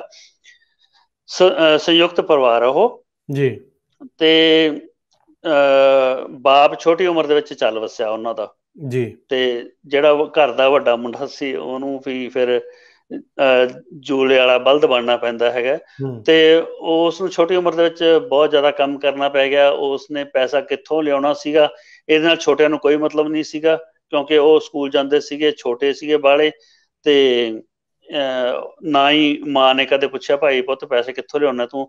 ਬਸ ਉਹਨਾਂ ਕੋਲ ਪੈਸਾ ਆ ਰਿਹਾ ਸੀ ਉਹ ਖੁਸ਼ ਸੀ ਉਹ ਕਰਦਾ ਕਰਾਉਂਦਾ ਨਾ ਉਹ ਬੰਦਾ ਗਲਤ ਆਦਤਾਂ ਵਿੱਚ ਪੈ ਗਿਆ। ਜੀ। ਉਹ ਨਸ਼ੇ ਵੇਚਣ ਵੀ ਲੱਗ ਪਿਆ ਤੇ ਜਦੋਂ ਵੇਚਣ ਲੱਗ ਪਿਆ ਤੇ ਫਿਰ ਨਾਲ ਨਸ਼ੇ ਕਰਨ ਵੀ ਲੱਗ ਪਿਆ। ਜੀ। ਸਮਾਂ ਬੀਤਿਆ ਤੇ ਪਰਿਵਾਰ ਪੂਰਾ ਸਟੈਂਡ ਹੋ ਗਿਆ ਜੀ। ਜੀ। ਹੁਣ ਜੋ ਮੌਜੂਦਾ ਸਥਿਤੀ ਸੀਗੀ ਉਹ ਬੰਦੇ ਦੇ ਸਰੀਰ ਨੂੰ ਨਸ਼ਿਆਂ ਨੇ ਖਾ ਲਿਆ। ਜੀ। ਤੇ ਹੁਣ ਉਹ ਦੂਜੇ ਉਹਨੂੰ ਟਕੇ ਭਾਵ ਨਹੀਂ ਪੁੱਛਦੇਗੇ ਉਹ ਬੰਦਾ ਹੁਣ ਉਸ ਗੱਲ ਨੂੰ ਰਹਿੰਦਾ ਵੀ ਜਦੋਂ ਮੈਂ ਇਹ ਕੰਮ ਕਰਦਾ ਸੀਗਾ ਉਦੋਂ ਨਹੀਂ ਮੈਨੂੰ ਕਿਸੇ ਨੇ ਰੋਕਿਆਗਾ ਅੱਜ ਤੁਸੀਂ ਮੈਨੂੰ ਸਾਰੇ ਪੈਣੇ ਹੋ ਭਾਈ ਤੂੰ ਨਸ਼ਾ ਕਿਉਂ ਕਰਦਾ ਤੂੰ ਐਂ ਕਿਉਂ ਕਰਦਾ? ਪਰਿਵਾਰ ਦੀ ਬੇਇੱਜ਼ਤੀ ਹੁੰਦੀ ਹੈ। ਸੋ ਇਹ ਹੁਣ ਕਾਫੀ ਤਕਰਾਰ ਜਾਂ ਕਾਫੀ ਡਿਸਕਸ਼ਨ ਦਾ ਵਿਸ਼ਾ ਹੈਗਾ। ਉਹ ਬੰਦਾ ਆਪਦੀ ਥਾਂ ਤੇ ਸਹੀ ਹੈਗਾ ਤੇ ਦੂਜਾ ਪਰਿਵਾਰ ਆਪਦੀ ਥਾਂ ਤੇ ਸਹੀ ਹੈ ਖੈਰ। ਇੱਕ ਇੱਕ ਚੀਜ਼ ਹੋਰ ਵੀ ਮੈਂ ਦੇਖੀ ਇਹਦੇ ਨਾਲ ਹੀ ਤੁਹਾਡੀ ਗੱਲ ਦੇ ਨਾਲ ਜੋੜਦੇ ਆ ਵੀ ਇੱਕ ਬੰਦਾ ਵਿੱਚੋਂ ਸਰਕਾਰੀ ਨੌਕਰੀ ਤੇ ਲੱਗ ਗਿਆ ਜਾਂ ਇੱਕ ਵਧੀਆ ਹੋ ਗਿਆ ਹਾਂ। ਉਹ ਇਨ ਦਾ ਐਂਡ ਆਫ ਦਾ ਡੇ ਇਹ ਵੀ ਹੋ ਜਾਂਦਾ ਵੀ ਇਹਨੇ ਗੋਝ ਰੱਖੀ ਆ ਇਹ ਇਹ ਇਹ ਵੀ ਜਿਹੜਾ ਹੈਗਾ ਕਿ ਇੱਕ ਚਰਚਾ ਦਾ ਵਿਸ਼ਾ ਬਣ ਜਾਂਦਾ ਭਰਾਵਾਂ ਦੀ ਤਕਰਾਰ ਕਿੱਥੋਂ ਪੈਦਾ ਹੁੰਦੀ ਹੈ ਵੀ ਜਿਹੜਾ ਸਾਡਾ ਮੁਲਾਜ਼ਮ ਸੀ ਜਾਂ ਜਿਹੜਾ ਸਾਡਾ ਮਾਸਟਰ ਸੀ ਜਾਂ ਕੋਈ ਮਤਲਬ ਜੋ ਵੀ ਮੁਲਾਜ਼ਮ ਜੋ ਵੀ ਹੁੰਦਾ ਆਪਣੇ ਪੰਜਾਬ ਵਾਲੇ ਜਿਆਦੇ ਪਿੰਡਾਂ ਦੇ ਮਾਸਟਰ ਵਗੈਰਾ ਹੀ ਹੁੰਦੇ ਆ ਜਾਂ ਫੌਜ ਪੁਲਿਸ ਦੇ ਵਿੱਚ ਹੁੰਦੇ ਆ ਜੀ ਹਨਾ? ਵੀ ਇਹ ਸਾਈਡ ਤੇ ਗੋਝ ਰੱਖੀ ਗਿਆ ਸਾਂਝੇ ਪਰਿਵਾਰ ਦੇ ਵਿੱਚ ਟੱਬਰਾਂ ਦਾ ਪਾਲੀ ਗਿਆ। ਸੋ ਉਹ ਵੀ ਜਾ ਕੇ ਵੱਡੀ ਦਿੱਕਤ ਦਾ ਕਾਰਨ ਬਣ ਜਾਂਦੀ ਹੈ। ਇਹ ਬਹੁਤ ਵੱਡੀ ਦਿੱਕਤ ਹਾਂਜੀ। ਜੀ। ਹਾਂ ਹੁਣ ਨਾ ਜਿਵੇਂ ਮੈਂ ਆਪਣੀਆਂ ਹੈਲਥ ਦੇ ਕਰਕੇ ਮੋਸਟ ਆਫ ਦਾ ਟਾਈਮ ਘਰੇ ਹੁੰਨਾ ਤੇ ਮਾਤਾ ਵੀ ਘਰੇ ਹੁੰਦੇ ਸੋ ਅਸੀਂ ਕਈ ਵਾਰੀ ਫਿਰ ਲੱਗ ਪੈਨੇ ਹੈਗੇ ਗੱਲਾਂ ਮਾਰਨ। ਤੇ ਅੱਜ ਵੀ ਮੈਂ ਤੇ ਮਾਤਾ 2 ਘੰਟੇ ਪਹਿਲਾਂ ਗੱਲਬਾਤ ਕਰਦੇ ਪਏ ਸੀ ਤੇ ਮਾਤਾ ਨੇ ਕਿਸੇ ਪਰਿਵਾਰ ਬਾਰੇ ਦੱਸਿਆ ਵੀ ਉਹਨਾਂ ਦੇ ਵਿੱਚ ਤਕਰਾਰ ਰਹਿਣ ਲੱਗ ਪਈ। ਹਾਲਾਂਕਿ ਕਿਸੇ ਟਾਈਮ ਬੜਾ ਪ੍ਰੇਮ ਪਿਆਰ ਹੁੰਦਾ ਸੀਗਾ। ਕਾਰਨ ਇਹ ਦੱਸਿਆ ਕਿ ਭਾਈ ਜਦੋਂ ਪਰਿਵਾਰ ਇਕੱਠਾ ਸੀ ਤਾਂ ਜਿਹੜਾ ਵੱਡਾ ਭਰਾ ਸੀਗਾ ਉਹਦੇ ਜਿਹੜੇ ਬੱਚੇ ਉਹ ਸਾਂਝੇ ਪਰਿਵਾਰ ਚੋਂ ਵਿਆਹੇ ਗਏ। ਜੀ ਇਹ ਵੀ ਵੱਡੀ ਹੋ ਜਾਂਦੀ ਹੈ ਬਿਲਕੁਲ ਹਾਂ ਗੱਲ ਤਾਂ ਜੀ ਜੀ। ਜਦੋਂ ਨੂੰ ਛੋਟੇ ਭਰਾ ਦੀ ਵਾਰੀ ਆਈ ਉਹਦੇ ਬੱਚੇ ਵਿਆਹਣ ਦਾ ਟਾਈਮ ਆਇਆ ਤਾਂ ਉਹ ਚੱਕ ਕੇ ਡੰਡਾ ਡੋਰੀਆ ਤੇ ਪਾਸੇ ਹੋ ਗਏ। ਜੀ ਜੀ ਠੀਕ ਹੈ ਨਾ? ਬਿਲਕੁਲ ਤੇ ਇਹ ਇਹ ਵੀ ਇੱਕ ਬਹੁਤ ਵੱਡਾ ਕਾਰਨ ਹੈਗਾ। ਜਿਹੜਾ ਕਿ ਪਰਿਵਾਰ ਦਾ ਇਹਦਾ ਜਿਹੜੀ ਸੰਯੁਕਤ ਪਰਿਵਾਰਾਂ ਵਾਲੀ ਤਾਂ ਚਲੋ ਇਹ ਇੱਕੋ ਜੀਆਂ ਨਾਲ ਜੁੜਦੀਆਂ ਚੀਜ਼ਾਂ ਨੇ। ਇੱਕ ਜਿਹੜਾ ਨਿਊਕਲੀਅਰ ਫੈਮਿਲੀ ਨੇ ਇੱਥੇ ਹਸਬੰਡ ਵਾਈਫ ਜਾਂ ਦੋ ਬੱਚੇ ਨੇ ਜਾਂ ਉਹਨਾਂ ਨਾਲ ਹਸਬੰਡ ਵਾਈਫ ਨੇ ਉਹਨਾਂ ਦੇ ਮਾਤਾ ਪਿਤਾ ਰਹਿੰਦੇ ਆ ਉਹਨਾਂ ਪਰਿਵਾਰਾਂ ਦੇ ਵਿੱਚ ਕੀ ਕਾਰਨ ਨੇ ਦਿੱਕਤਾਂ ਦੇ? ਹਾਂਜੀ ਬੇਰੋਜ਼ਗਾਰੀ ਹੋ ਸਕਦੀ ਹੈ ਆਰਥਿਕ ਤੰਗੀ ਹੋ ਸਕਦੀ ਹੈ। ਆਰਥਿਕ ਤੰਗੀ ਕਰਕੇ ਜਿਹੜੀਆਂ ਸਮੱਸਿਆਵਾਂ ਨੇ ਉਹ ਆਪਾਂ ਇਹਨਾਂ ਮੁਲਕਾਂ ਦੇ ਵਿੱਚ ਵੀ ਵੇਖਦੇ ਆ ਤੇ ਵਤਨੀ ਵੀ ਵੇਖਦੇ ਹੈਗੇ ਆ। ਇਹ ਸਾਂਝੀਆਂ ਸਮੱਸਿਆਵਾਂ ਨੇ। ਇੱਕ ਨਾ ਜਿਵੇਂ ਜਿਵੇਂ ਕਹਿੰਦੇ ਵੀ ਜ਼ਮੀਨਾਂ ਵੰਡੀਆਂ ਜਾ ਰਹੀਆਂ ਜਿਵੇਂ ਜਿਵੇਂ ਪਰਿਵਾਰ ਵੰਡੇ ਜਾ ਰਹੇ ਆ ਪਰਿਵਾਰ ਛੋਟੇ ਹੁੰਦੇ ਜਾ ਰਹੇ ਜ਼ਮੀਨਾਂ ਵੀ ਛੋਟੀਆਂ ਹੁੰਦੀਆਂ ਜਾ ਰਹੀਆਂ। ਤੇ ਜਿਹੜੇ ਹਮਾਤੜ ਹੁੰਦੇ ਆ ਮਾਇਨੀ ਪਰਿਵਾਰ ਹੁੰਦੇ ਆ ਉਹਨਾਂ ਕੋਲ ਤਾਂ ਜ਼ਮੀਨਾਂ ਤਾਂ ਹੁੰਦੀਆਂ ਨਹੀਂ। ਰਹਿਣ ਜੋ ਘਰ ਹੁੰਦੇ ਜਾਂ ਦੁਕਾਨਾਂ ਹੁੰਦੀਆਂ ਤੇ ਉਹ ਵੀ ਫਿਰ ਵੰਡੀਆਂ ਜਾ ਰਹੀਆਂ ਉਹ ਵੀ ਛੋਟੀਆਂ ਹੋ ਰਹੀਆਂ ਨੇ। ਜੀ। ਤੇ ਉਹ ਜਿਹੜੀ ਰਹਿਣ ਯੋਗ ਜਗ੍ਹਾ ਹੈਗੀ ਆ ਉਹਦੀ ਵੀ ਘਾਟ ਆ ਰਹੀ ਕਿਉਂਕਿ ਘਰ ਲੈਣੇ ਕਿਹੜਾ ਸੌਖੇ ਪਏ ਜੀ। ਜੀ ਜੀ। ਠੀਕ ਹੈ ਨਾ? ਸੋ ਇਹ ਵੀ ਇਹ ਵੀ ਜਿਹੜਾ ਹੈਗਾ ਇੱਕ ਸਮੱਸਿਆ ਦਾ ਕਾਰਨ ਬਣਦਾ ਹੈਗਾ। ਘਰੇਲੂ ਹਿੰਸਾ ਹੋਵੇ ਹੁਣ ਜਿਹੜੀ ਘਰੇਲੂ ਹਿੰਸਾ ਹੈ ਉਹ ਸੰਯੁਕਤ ਪਰਿਵਾਰ 'ਚ ਵੀ ਹੋ ਸਕਦੀ ਹੈ ਜਾਂ ਮੀਆਂ ਬੀਵੀ ਇਕੱਲੇ ਰਹਿੰਦੇ ਹੋਣ ਉਹਨਾਂ 'ਚ ਵੀ ਹੋ ਸਕਦੀ ਹੈਗੀ ਹੈ। ਹੂੰ। ਗੁੱਸਾ ਲਾਪਰਵਾਹੀ ਵਿਚਾਰ ਵਿਚਾਰ ਹੀ ਨਹੀਂ ਮਿਲਦੇਗੇ ਜੀ। ਇਹ ਵਿਚਾਰਾਂ ਦੀ ਸਮੱਸਿਆ ਬਹੁਤ ਆ ਰਹੀ ਹੈ ਪੱਛਮੀ ਮੁਲਕਾਂ ਦੇ ਵਿੱਚ ਆਪਣੀ ਕਮਿਊਨਿਟੀ ਦੇ ਵਿੱਚ। ਜਿਵੇਂ ਆਪਾਂ ਦੇਖਦੇ ਹਾਂ ਕਿ ਜਿਹੜੇ ਕਪਲ ਆ ਰਹੇ ਨੇ ਨਵੇਂ ਕਪਲ ਆ ਰਹੇ ਨੇ ਸਟੱਡੀ ਵੀਜ਼ਿਆਂ ਤੇ ਉਹਨਾਂ ਦੇ ਵਿੱਚੋਂ ਇੱਕ ਖਾਸ ਤੌਰ ਤੇ ਜਿਹੜੀ ਵਾਈਫ ਹੈ ਉਹ ਬਹੁਤ ਜ਼ਿਆਦਾ ਪੜ੍ਹੀ ਲਿਖੀ ਹੁੰਦੀ ਹੈ ਤੇ ਮੁੰਡੇ ਵਾਲਿਆਂ ਨੇ ਪੈਸੇ ਲਾਏ ਹੁੰਦੇ ਆ ਉਹ ਫਿਰ ਹੁਣ ਦੇਖੋ ਹੁਣ ਜੇ ਕਿਸੇ ਨੇ ਉੱਥੇ ਮਾਸਟਰਸ ਕੀਤੀ ਹੋਈ ਹੈ ਤੇ ਗਾਂ ਉਦੋਂ ਗਾਂ ਦੀ ਕੋਈ ਸਟੱਡੀ ਲੈ ਕੇ ਜਾਂ ਇਕੁਅਲ ਸਟੱਡੀ ਲੈ ਕੇ ਇੱਥੇ ਆ ਗਏ ਜਾਂ ਕਿਸੇ ਨੇ ਬੈਚਲਰਸ ਕੀਤੀ ਹੋਈ ਹੈ ਫਿਰ ਕੋਈ ਸਟੱਡੀ ਲੈ ਕੇ ਜਾਂ ਨਰਸਿੰਗ ਕੀਤੀ ਹੋਈ ਹੈ ਤੇ ਉਧਰੋਂ ਮੁੰਡਾ 10ਵੀਂ ਜਾਂ 12ਵੀਂ ਪੜਿਆ ਹੁੰਦਾ ਹੈ ਜਿਹੜਾ ਕਿ ਖੇਤਾਂ ਦੇ ਵਿੱਚ ਕੰਮ ਕਰਦਾ ਹੁੰਦਾ ਜਾਂ ਦੁਕਾਨ ਤੇ ਕਿਸੇ ਤੇ ਲੱਗਿਆ ਹੁੰਦਾ ਜਾਂ ਕੋਈ ਇਹੋ ਜਿਹਾ ਹੁਣ ਉਹ ਦੇਖੋ ਪੜ੍ਹਾਈ ਦਾ ਜਿਹੜਾ ਫ਼ਰਕ ਹੈ ਉਹ ਤਾਂ ਰਹੇਗਾ ਨਾ ਜੀ। ਡੈਫੀਨਿਟਲੀ ਹਾਂਜੀ। ਉਹ ਉਹ ਹੁਣ ਵਿਚਾਰਾਂ ਦੇ ਵਿੱਚ ਜਿਹੜੀ ਭਿੰਨਤਾ ਹੈਗੀ ਹੈ ਉਹ ਉਹ ਲੈਵਲ ਤਾਂ ਨਹੀਂ ਬਰਾਬਰ ਹੋਣ ਲੱਗਿਆ ਨਾ। ਜੀ ਜੀ ਜੀ। ਉਹਨਾਂ ਦਾ ਸੋ ਇਹ ਜਿਹੜੀ ਵਿਚਾਰਾਂ ਦੇ ਵਿੱਚ ਦਾ ਨਜ਼ਰੀਆ ਸਮਾਜ ਨੂੰ ਸਮਝਣ ਦਾ। ਨਜ਼ਰੀਆ ਹੈ ਨਾ ਜੀ? ਸੋ। ਫਿਰ ਇੱਕ ਅੱਜ ਕੱਲ ਇਹ ਬੜਾ ਸ਼ਬਦ ਚੱਲ ਪਿਆ ਰਿਸ਼ੀ ਜੀ 올ਡ ਸਕੂਲ ਹਨਾ ਜੀ 올ਡ ਗਾਰਡ ਇਹ ਇਹ ਖਾਸ ਤੌਰ ਤੇ ਉਹੀ ਹੈ ਵੀ ਜਿਹੜਾ ਹੁਣ ਯੂਨੀਵਰਸਿਟੀਆਂ ਤੱਕ ਪੜ੍ਹਿਆ ਹੈ ਇੱਥੇ ਆ ਕੇ ਯੂਨੀਵਰਸਿਟੀਆਂ 'ਚ ਪੜ੍ਹ ਲਿਆ ਘਰ ਵਾਲਾ ਜਿਹੜਾ ਹੈਗਾ ਕਿ ਪਿੰਡ ਵਾਲੇ ਸਰਕਾਰੀ ਸਕੂਲ 'ਚ 10ਵੀਂ ਪੜ੍ਹ ਕੇ ਮਤਲਬ ਆਇਆ ਤਾਂ ਨੈਚੁਰਲੀ ਆ 올ਡ ਸਕੂਲ ਵਰਸ ਇਹ ਵੀ ਚੱਲਦਾ ਹੈਗਾ ਵੀ ਤੈਨੂੰ ਕੀ ਪਤਾ ਦੁਨੀਆ ਹੈ। ਨਾ ਜੀ? ਜੀ। ਤੈਨੂੰ ਕੀ ਪਤਾ ਦੁਨੀਆਦਾਰੀ ਦਾ।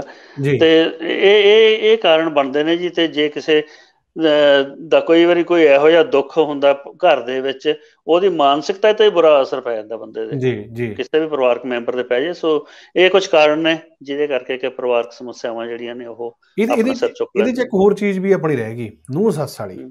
ਨੂੰਹ ਸੱਸ ਵਾਲਾ ਜਿਹੜਾ। ਪੰਜਾਬੀਆਂ ਦੇ ਵਿੱਚ ਤਾਂ ਵੀ ਉਹ ਕਹਿੰਦੇ ਨੇ ਹੁੰਦੇ ਵੀ ਅਹ, ਨਿਹੱਤਰਾ ਲੈ ਆਈ ਜੀ, ਹਾਂ ਵੀ ਸੱਸ। ਕੁੱਟਣੀ ਸੋ ਇਹ ਤਾਂ ਸਾਡੀਆਂ। ਲੋਕ ਬੋਲੀਆਂ ਦਾ ਹਿੱਸਾ ਹੈ ਨਾ ਤਾਂ ਹਾਂ, ਇਹ ਹਾਂ, ਜਿਹੜੀ ਹਾਂ। ਚੀਜ਼ ਹੈ ਇਹ ਵੀ ਮੈਨੂੰ ਲੱਗਦਾ ਇਹ ਵੀ ਇਹ ਵੀ ਨੂੰਹ ਸੱਸ ਨੂੰ ਮਾਂ ਨਹੀਂ ਮੰਨਦੀ ਮਾਂ ਨੂੰਹ ਨੂੰ ਧੀ ਨਹੀਂ ਮੰਨਦੀ ਹੈ ਨਾ ਹਾਂ ਹਾਂ ਹਾਂ। ਮਤਲਬ ਹੈ ਤਾਂ ਰਿਸ਼ਤੇ ਵੱਖਰੇ ਆ ਕਿਉਂਕਿ ਉਹਦੇ ਹਸਬੰਡ ਦੀ ਮਾਂ ਗਈ ਹੈ ਨਾ ਪਰ ਫਿਰ ਵੀ। ਜੇ ਜਿਵੇਂ ਉਹ ਆਪਣੀ ਧੀ ਨੂੰ ਟਰੀਟ ਕਰਦੀ ਹੈ ਜੇ ਉਸ ਤਰੀਕੇ ਨਾਲ ਉਹਦੇ ਨੇੜੇ ਤੇੜੇ ਵੀ ਟਰੀਟ ਕਰ ਲੇ ਮੈਨੂੰ ਲੱਗਦਾ ਦਿੱਕਤਾਂ ਨਹੀਂ ਆਉਣੀਆਂ। ਜਿਵੇਂ ਬਿਲਕੁਲ।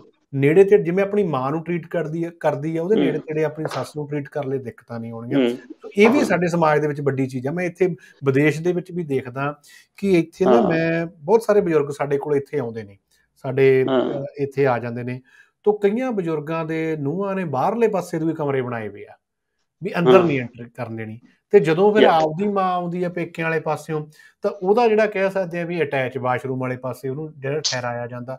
ਸੋ ਇਹ ਵੀ। ਇਹ ਵੀ ਦਿੱਕਤਾਂ ਨੇ ਅੱਜ ਕੱਲ ਨਿਊਕਲੀਅਰ ਫੈਮਲੀਆਂ ਦੇ ਵਿੱਚ ਕਿ। ਮਾਪਿਆਂ ਦਾ ਬੜਾ ਦੁਰਵਿਹਾਰ ਹੁੰਦਾ। ਜਾਂ ਫਿਰ ਮਾਪਿਆਂ ਨੂੰ ਇਹ ਆ ਵੀ ਜਵਾਕ ਪਾਲਣ ਵਾਸਤੇ ਰੋਟੀਆਂ ਲਾਉਣ ਵਾਸਤੇ ਤੇ ਇਸ ਤਰੀਕੇ ਨਾਲ ਦੇਖਿਆ ਜਾਂਦਾ। ਹਾਂ ਇਹ ਬਿਲਕੁਲ ਹੈਗਾ ਜੀ। ਜਿਵੇਂ ਆਪਾਂ ਗੱਲ ਸ਼ੁਰੂਆਤ ਹੀ ਇਸ ਗੱਲ ਤੋਂ ਕੀਤੀ ਸੀ ਵੀ ਕਿਚਨ ਜਾਂ ਘਰ ਸਾਂਭਣ ਦਾ ਇੱਕ ਔਰਤ ਦਾ ਵੱਖਰਾ ਨਜ਼ਰੀਆ ਹੁੰਦਾ ਦੂਜੀ ਦਾ ਵੱਖਰਾ ਨਜ਼ਰੀਆ ਹੁੰਦਾ। ਇਸ਼ਾਰਾ ਇੱਧਰ ਹੀ ਸੀਗਾ। ਸੋ ਇੱਕ ਨਾ ਹੁਣ ਚੱਲਦੀ ਗੱਲ ਦੇ ਵਿੱਚੋਂ ਤੁਹਾਨੂੰ ਮੈਂ ਗੱਲ ਕਰ ਹੀ ਦਿੰਦਾ ਇੱਕ ਨਾ ਮੇਰੇ ਕੋਲ ਕੇਸ ਆਇਆ ਸੀਗਾ ਕਈ ਸਾਲ ਪਹਿਲਾਂ। ਜੀ। ਇੱਥੇ ਸਾਡੇ ਲੋਕਲ ਹੀ ਸੀਗਾ। ਜੀ। ਤੇ ਉਹ ਜਿਹੜੀ ਮਾਂ ਧੀ ਆਈਆਂ ਸੀਗੀਆਂ ਆਪਦੇ ਜਵਾਈ ਦੀ ਕੰਪਲੇਂਟ ਲੈ ਕੇ। ਜੀ। ਯਾਨੀ ਕਿ ਮਾਤਾ ਜਿਹੜੀ ਆਪਦੇ ਧੀ ਜਵਾਈ ਕੋਲੇ ਰਹਿਣ ਵਾਸਤੇ ਆਈ ਹੋਈ ਸੀ ਉਹਨਾਂ ਨੇ ਕੰਪਲੇਂਟ ਕੀਤੀ ਸੀ। ਉਹ ਆਏ ਸੀਗੇ ਮੇਰੇ ਕੋਲੇ। ਤੇ ਉਹ ਕਹਿੰਦੇ ਕਿ ਭਾਈ ਉਹ ਚੰਗਾ ਭਲਾ ਹੁੰਦਾ ਠੀਕ ਹੈ? ਜਦੋਂ ਕੰਮ ਦਾ ਟਾਈਮ ਹੁੰਦਾ ਉਦੋਂ ਉਹਨੂੰ ਕੁਝ ਨਾ ਕੁਝ ਹੋ ਜਾਂਦਾ ਨਾ ਕੰਮ ਤੇ ਜਾਂਦਾ ਨਾ ਲੈਣਾ ਨਾ ਦੇਣਾ। ਮੈਂ ਨਾ ਜੀ ਸਾਰਾ ਹੀ ਗੱਲਬਾਤ ਪੁੱਛੀ ਉਹਨਾਂ ਨੂੰ ਹਨਾ? ਤੇ ਹੁਣ ਐਵੇਂ ਕਿਸੇ ਨੂੰ ਗੱਲ ਮੇਰੀ ਕੀਤੀ ਭੈੜੀ ਨਾ ਲੱਗੇ। ਕੀ ਸੀਗਾ ਭਈ ਜਿਹੜੀ ਮਾਂ ਤੇ ਧੀ ਹੈ ਨਾ ਉਹ ਰਾਤ ਨੂੰ 11 ਵਜੇ ਤੱਕ ਗੁੱਟਰਗੂ ਗੁੱਟਰਗੂ ਕਰਦੀਆਂ ਰਹਿੰਦੀਆਂ ਸੀ ਆਪਸ ਵਿੱਚ ਹੂੰ। ਅੰਦਰ ਵੜ ਕੇ। ਠੀਕ ਹੈ? ਹੁਣ ਜਿਹੜੀ ਧੀ ਆ ਉਹਦੀ ਮਾਂ ਦੇ ਨਾਲ ਸੌਂਦੀ ਸੀਗੀ। ਜੀ। ਠੀਕ ਹੈ? ਹੁਣ ਹੁਣ ਬਾਲਾ ਮੈਂ ਕੀ ਖੋਲ ਕੇ ਕਹਾਂ ਜੀ। ਹੁਣ ਸਿਆਣੇ ਬੰਦੇ ਨੂੰ ਆਪ ਨੂੰ ਵੀ ਪਤਾ ਹੋਣਾ ਚਾਹੀਦਾ ਨਾ ਭਈ ਮੈਂ ਆਈ ਹੈਗੀ ਆ ਇਹਨਾਂ ਕੋਲੇ ਆਪਣੇ ਧੀ ਜਵਾਈ ਕੋਲੇ ਤੇ ਮੈਨੂੰ ਆਪਣੇ ਕਮਰੇ ਦੇ ਵਿੱਚ ਵੀ ਜਾਣਾ ਚਾਹੀਦਾ ਜਾਂ ਉਹਨਾਂ ਨੂੰ ਇਕੱਲੇ ਨੂੰ ਵੀ ਟਾਈਮ ਦੇਣਾ ਚਾਹੀਦਾ ਹੈਗਾ। ਜੀ। ਹਰ ਹਰ? ਰਿਸ਼ਤੇ ਦੀਆਂ ਸਰਟਨ ਪ੍ਰਿਵਿਲੇਜਸ ਹੁੰਦੀਆਂ ਨੇ ਹਾਂ, ਉਹਨੂੰ ਲੰਘਣਾ। ਨਹੀਂ ਚਾਹੀਦਾ ਨਾ ਉਹਦੀ ਹੱਦ ਨੂੰ ਜੀ ਹੈ ਨਾ? ਠੀਕ ਹੈ? ਤੇ। ਉੱਥੇ ਹੁਣ ਦੋਹਾਂ ਧਿਰਾਂ ਦਾ ਹੀ ਫਰਜ਼ ਬਣਦਾ। ਠੀਕ ਹੈ? ਹੁਣ। ਜਦੋਂ ਉਹ ਬਾਈ ਕੀ ਕਰਦਾ ਸੀਗਾ ਰਾਤ ਨੂੰ ਉਹ ਸਾਰੀ ਰਾਤ ਪਿਆ ਬੈਠਾ ਮੋਬਾਈਲ ਤੇ ਗੇਮਾਂ ਲਾਉਂਦਾ ਰਹਿੰਦਾ ਸੀਗਾ। ਠੀਕ ਹੈ? ਤੇ ਤੜਕੇ ਉੱਠਦਾ ਨਹੀਂ ਸੀ ਕੰਮ ਤੇ ਜਾਂਦਾ ਨਹੀਂ ਸੀਗਾ। ਉਹ ਆਪਦੀ ਥਾਂ ਚਿੜਿਆ ਹੋਇਆ ਸੀਗਾ। ਕਿਉਂਕਿ। ਇੱਕ ਸਰਟਨ ਮਰਿਆਦਾ ਹੁੰਦੀ ਹੈ ਨਾ ਹਰ ਚੀਜ਼ ਦੀ ਗੱਲਬਾਤ ਕਰਨ ਦੇ ਤਰੀਕੇ ਦੀ। ਜੀ ਉਹ ਤਾਂ ਹੁਣ ਆਪਣੇ ਵਿਊਅਰਸ ਦਾ ਫਰਜ਼ ਬਣਦਾ ਹੈ ਕਿ। ਉਹ ਇਸ ਚੀਜ਼ ਨੂੰ ਸਮਝ ਕੇ ਜਾਂ ਆਪਣੇ ਪਰਿਵਾਰ ਤੇ ਲਾ ਕੇ ਦੇਖਣ ਕਿ ਤੇ ਉਹ ਇਹੋ ਜਿਹੀਆਂ ਗਲਤੀਆਂ ਤਾਂ ਨਹੀਂ ਕਰਦੇ ਪਏਗੇ। ਹੂੰ ਬਿਲਕੁਲ ਜੀ। ਹਾਂ। ਕਿਉਂਕਿ ਆਪਾਂ ਨੂੰ ਇਹ ਨਹੀਂ ਸਿਖਾਇਆ ਜਾਂਦਾ ਕਿ ਖੁੱਲ ਕੇ ਇਸ ਇਹਨਾਂ ਵਿਸ਼ਿਆਂ ਤੇ ਗੱਲਬਾਤ ਕੀਤੀ ਜਾਵੇ। ਹਾਲਾਂਕਿ ਇਹ ਇੱਕ 네ਗੇਟਿਵਿਟੀ ਵੀ ਹੈਗੀ ਹੈ ਕਿ ਖੁੱਲ ਕੇ ਗੱਲਬਾਤ ਨਾ ਕਰਨਾ। ਉਹ ਫਿਰ ਆਪਾਂ ਕਹਿੰਦੇ ਨਾ ਕਿ ਸ਼ਬਦਾਂ ਦਾ ਰੂਪ ਨਹੀਂ ਦੇ ਸਕਦੇ ਆਪਾਂ ਆਪਣੀਆਂ ਭਾਵਨਾਵਾਂ ਨੂੰ। ਸਾਨੂੰ ਸਿਖਾਇਆ ਨਹੀਂ ਜਾਂਦਾਗਾ। ਜੀ। ਜੀ। ਸੋ ਬਿਲਕੁਲ। ਇਹ ਵੀ ਇਹ ਵੀ ਇੱਕ ਵੱਡਾ ਕਾਰਨ ਹੈਗਾ। ਜੀ। ਹੁਣ ਇਹ ਤੋਂ ਬਾਅਦ ਆਪਾਂ ਜੇ ਕਰੀਏ ਵੀ ਇਹਨਾਂ ਜਿਹੜੀਆਂ ਸਮੱਸਿਆਵਾਂ ਨੇ ਜਿਹੜੀਆਂ ਵੀ ਹੋ ਗਈਆਂ ਜਾਂ ਸੰਯੁਕਤ ਪਰਿਵਾਰਾਂ ਦੀਆਂ ਜਾਂ ਇਕੱਲੇ ਪਰਿਵਾਰਾਂ ਦੀਆਂ ਇਹਨਾਂ ਤੋਂ ਬਚਿਆ ਕਿਵੇਂ ਜਾ ਸਕਦਾ? ਇਹ ਕਿਹੜੇ ਉਹ ਟਰੈਕ ਨੇ ਜਿਹੜਾ ਕਿ ਬੰਦਾ ਆਪਣੇ ਜੀਵਨ ਦੇ ਵਿੱਚ ਅਪਣਾ ਲੇ ਜਾਂ ਉਹ ਚੀਜ਼ਾਂ ਆਪਣੇ ਜਿਹੜੇ ਹੈਗੇ ਟਿਪਸ ਦੇ ਉੱਤੇ ਕਰ ਲਵੇ ਤਾਂ ਉਹ ਇੱਕ ਹੱਦ ਤੱਕ ਬਚ ਸਕਦਾ। ਆਪਾਂ ਇਹ ਵੀ ਨਹੀਂ ਕਹਿੰਦੇ ਵੀ ਕਈ ਵਾਰੀ ਕਹਿੰਦਾ ਹੁੰਦੇ ਨੇ ਵੀ ਵੀ ਬੰਦਾ ਆਪਣੇ ਵੱਲੋਂ ਟਰਾਈ ਕਰਦਾ ਸਾਹਮਣੇ ਪਾਸੇ ਬੰਦੇ ਦਾ ਸੁਭਾਅ ਜਾਂ ਨੇਚਰ ਇਦਾਂ ਦਾ ਹੁੰਦਾ ਕਿ ਉਹਨੂੰ ਤੁਸੀਂ ਟਾਲ ਨਹੀਂ ਸਕਦੇ ਲੰਮਾ ਸਮਾਂ। ਉਹਦੇ ਵਿੱਚ ਦੀ ਸਾਨੂੰ ਗੁਜ਼ਰ ਕੇ ਲੰਘਣਾ ਹੀ ਪੈਣਾ। ਪਰ ਫਿਰ ਵੀ ਜੇ ਮਤਲਬ ਬੰਦਾ ਕੋਸ਼ਿਸ਼ ਕਰੇ ਵੀ ਇਹ ਚੀਜ਼ਾਂ ਤੋਂ ਬਚਿਆ ਜਾ ਸਕਦਾ ਉਹ ਕਿਹੜੀਆਂ ਨੇ ਤੁਹਾਡੇ ਨਾਲ ਕਹਿਣਾ ਚਾਹੁੰਦੇ ਇੱਕ ਨਾ ਤੰਦੇ ਭਾਜੀ ਜਿਹੜੀ ਸਭ ਤੋਂ ਵੱਡੀ ਦਿੱਕਤ ਵੇਖਣ ਚ ਮੇਰੇ ਆਈ ਹੈਗੀ ਹੈ ਜੀ। ਉਹ ਹੈਗੀ ਹੈ ਘਰਾਂ ਦੇ ਨਕਸ਼ਿਆਂ ਦੇ ਵਿੱਚ। ਜੀ। ਜਦੋਂ ਤਾਂ ਹੁੰਦੇ ਆਪਸ ਦੇ ਵਿੱਚ ਪ੍ਰੇਮ ਪਿਆਰ ਉਦੋਂ ਤਾਂ ਇੱਕ ਦੂਜੇ ਤੋਂ ਜਾਨਵਰ ਦੇ ਡੋਲ ਡੋਲ ਕੇ ਜਾਂਦੇ ਆ। ਉੱਪਰ ਉੱਪਰ ਕੇ ਜਾਂਦੇ ਆ। ਜੀ। ਠੀਕ ਹੈ?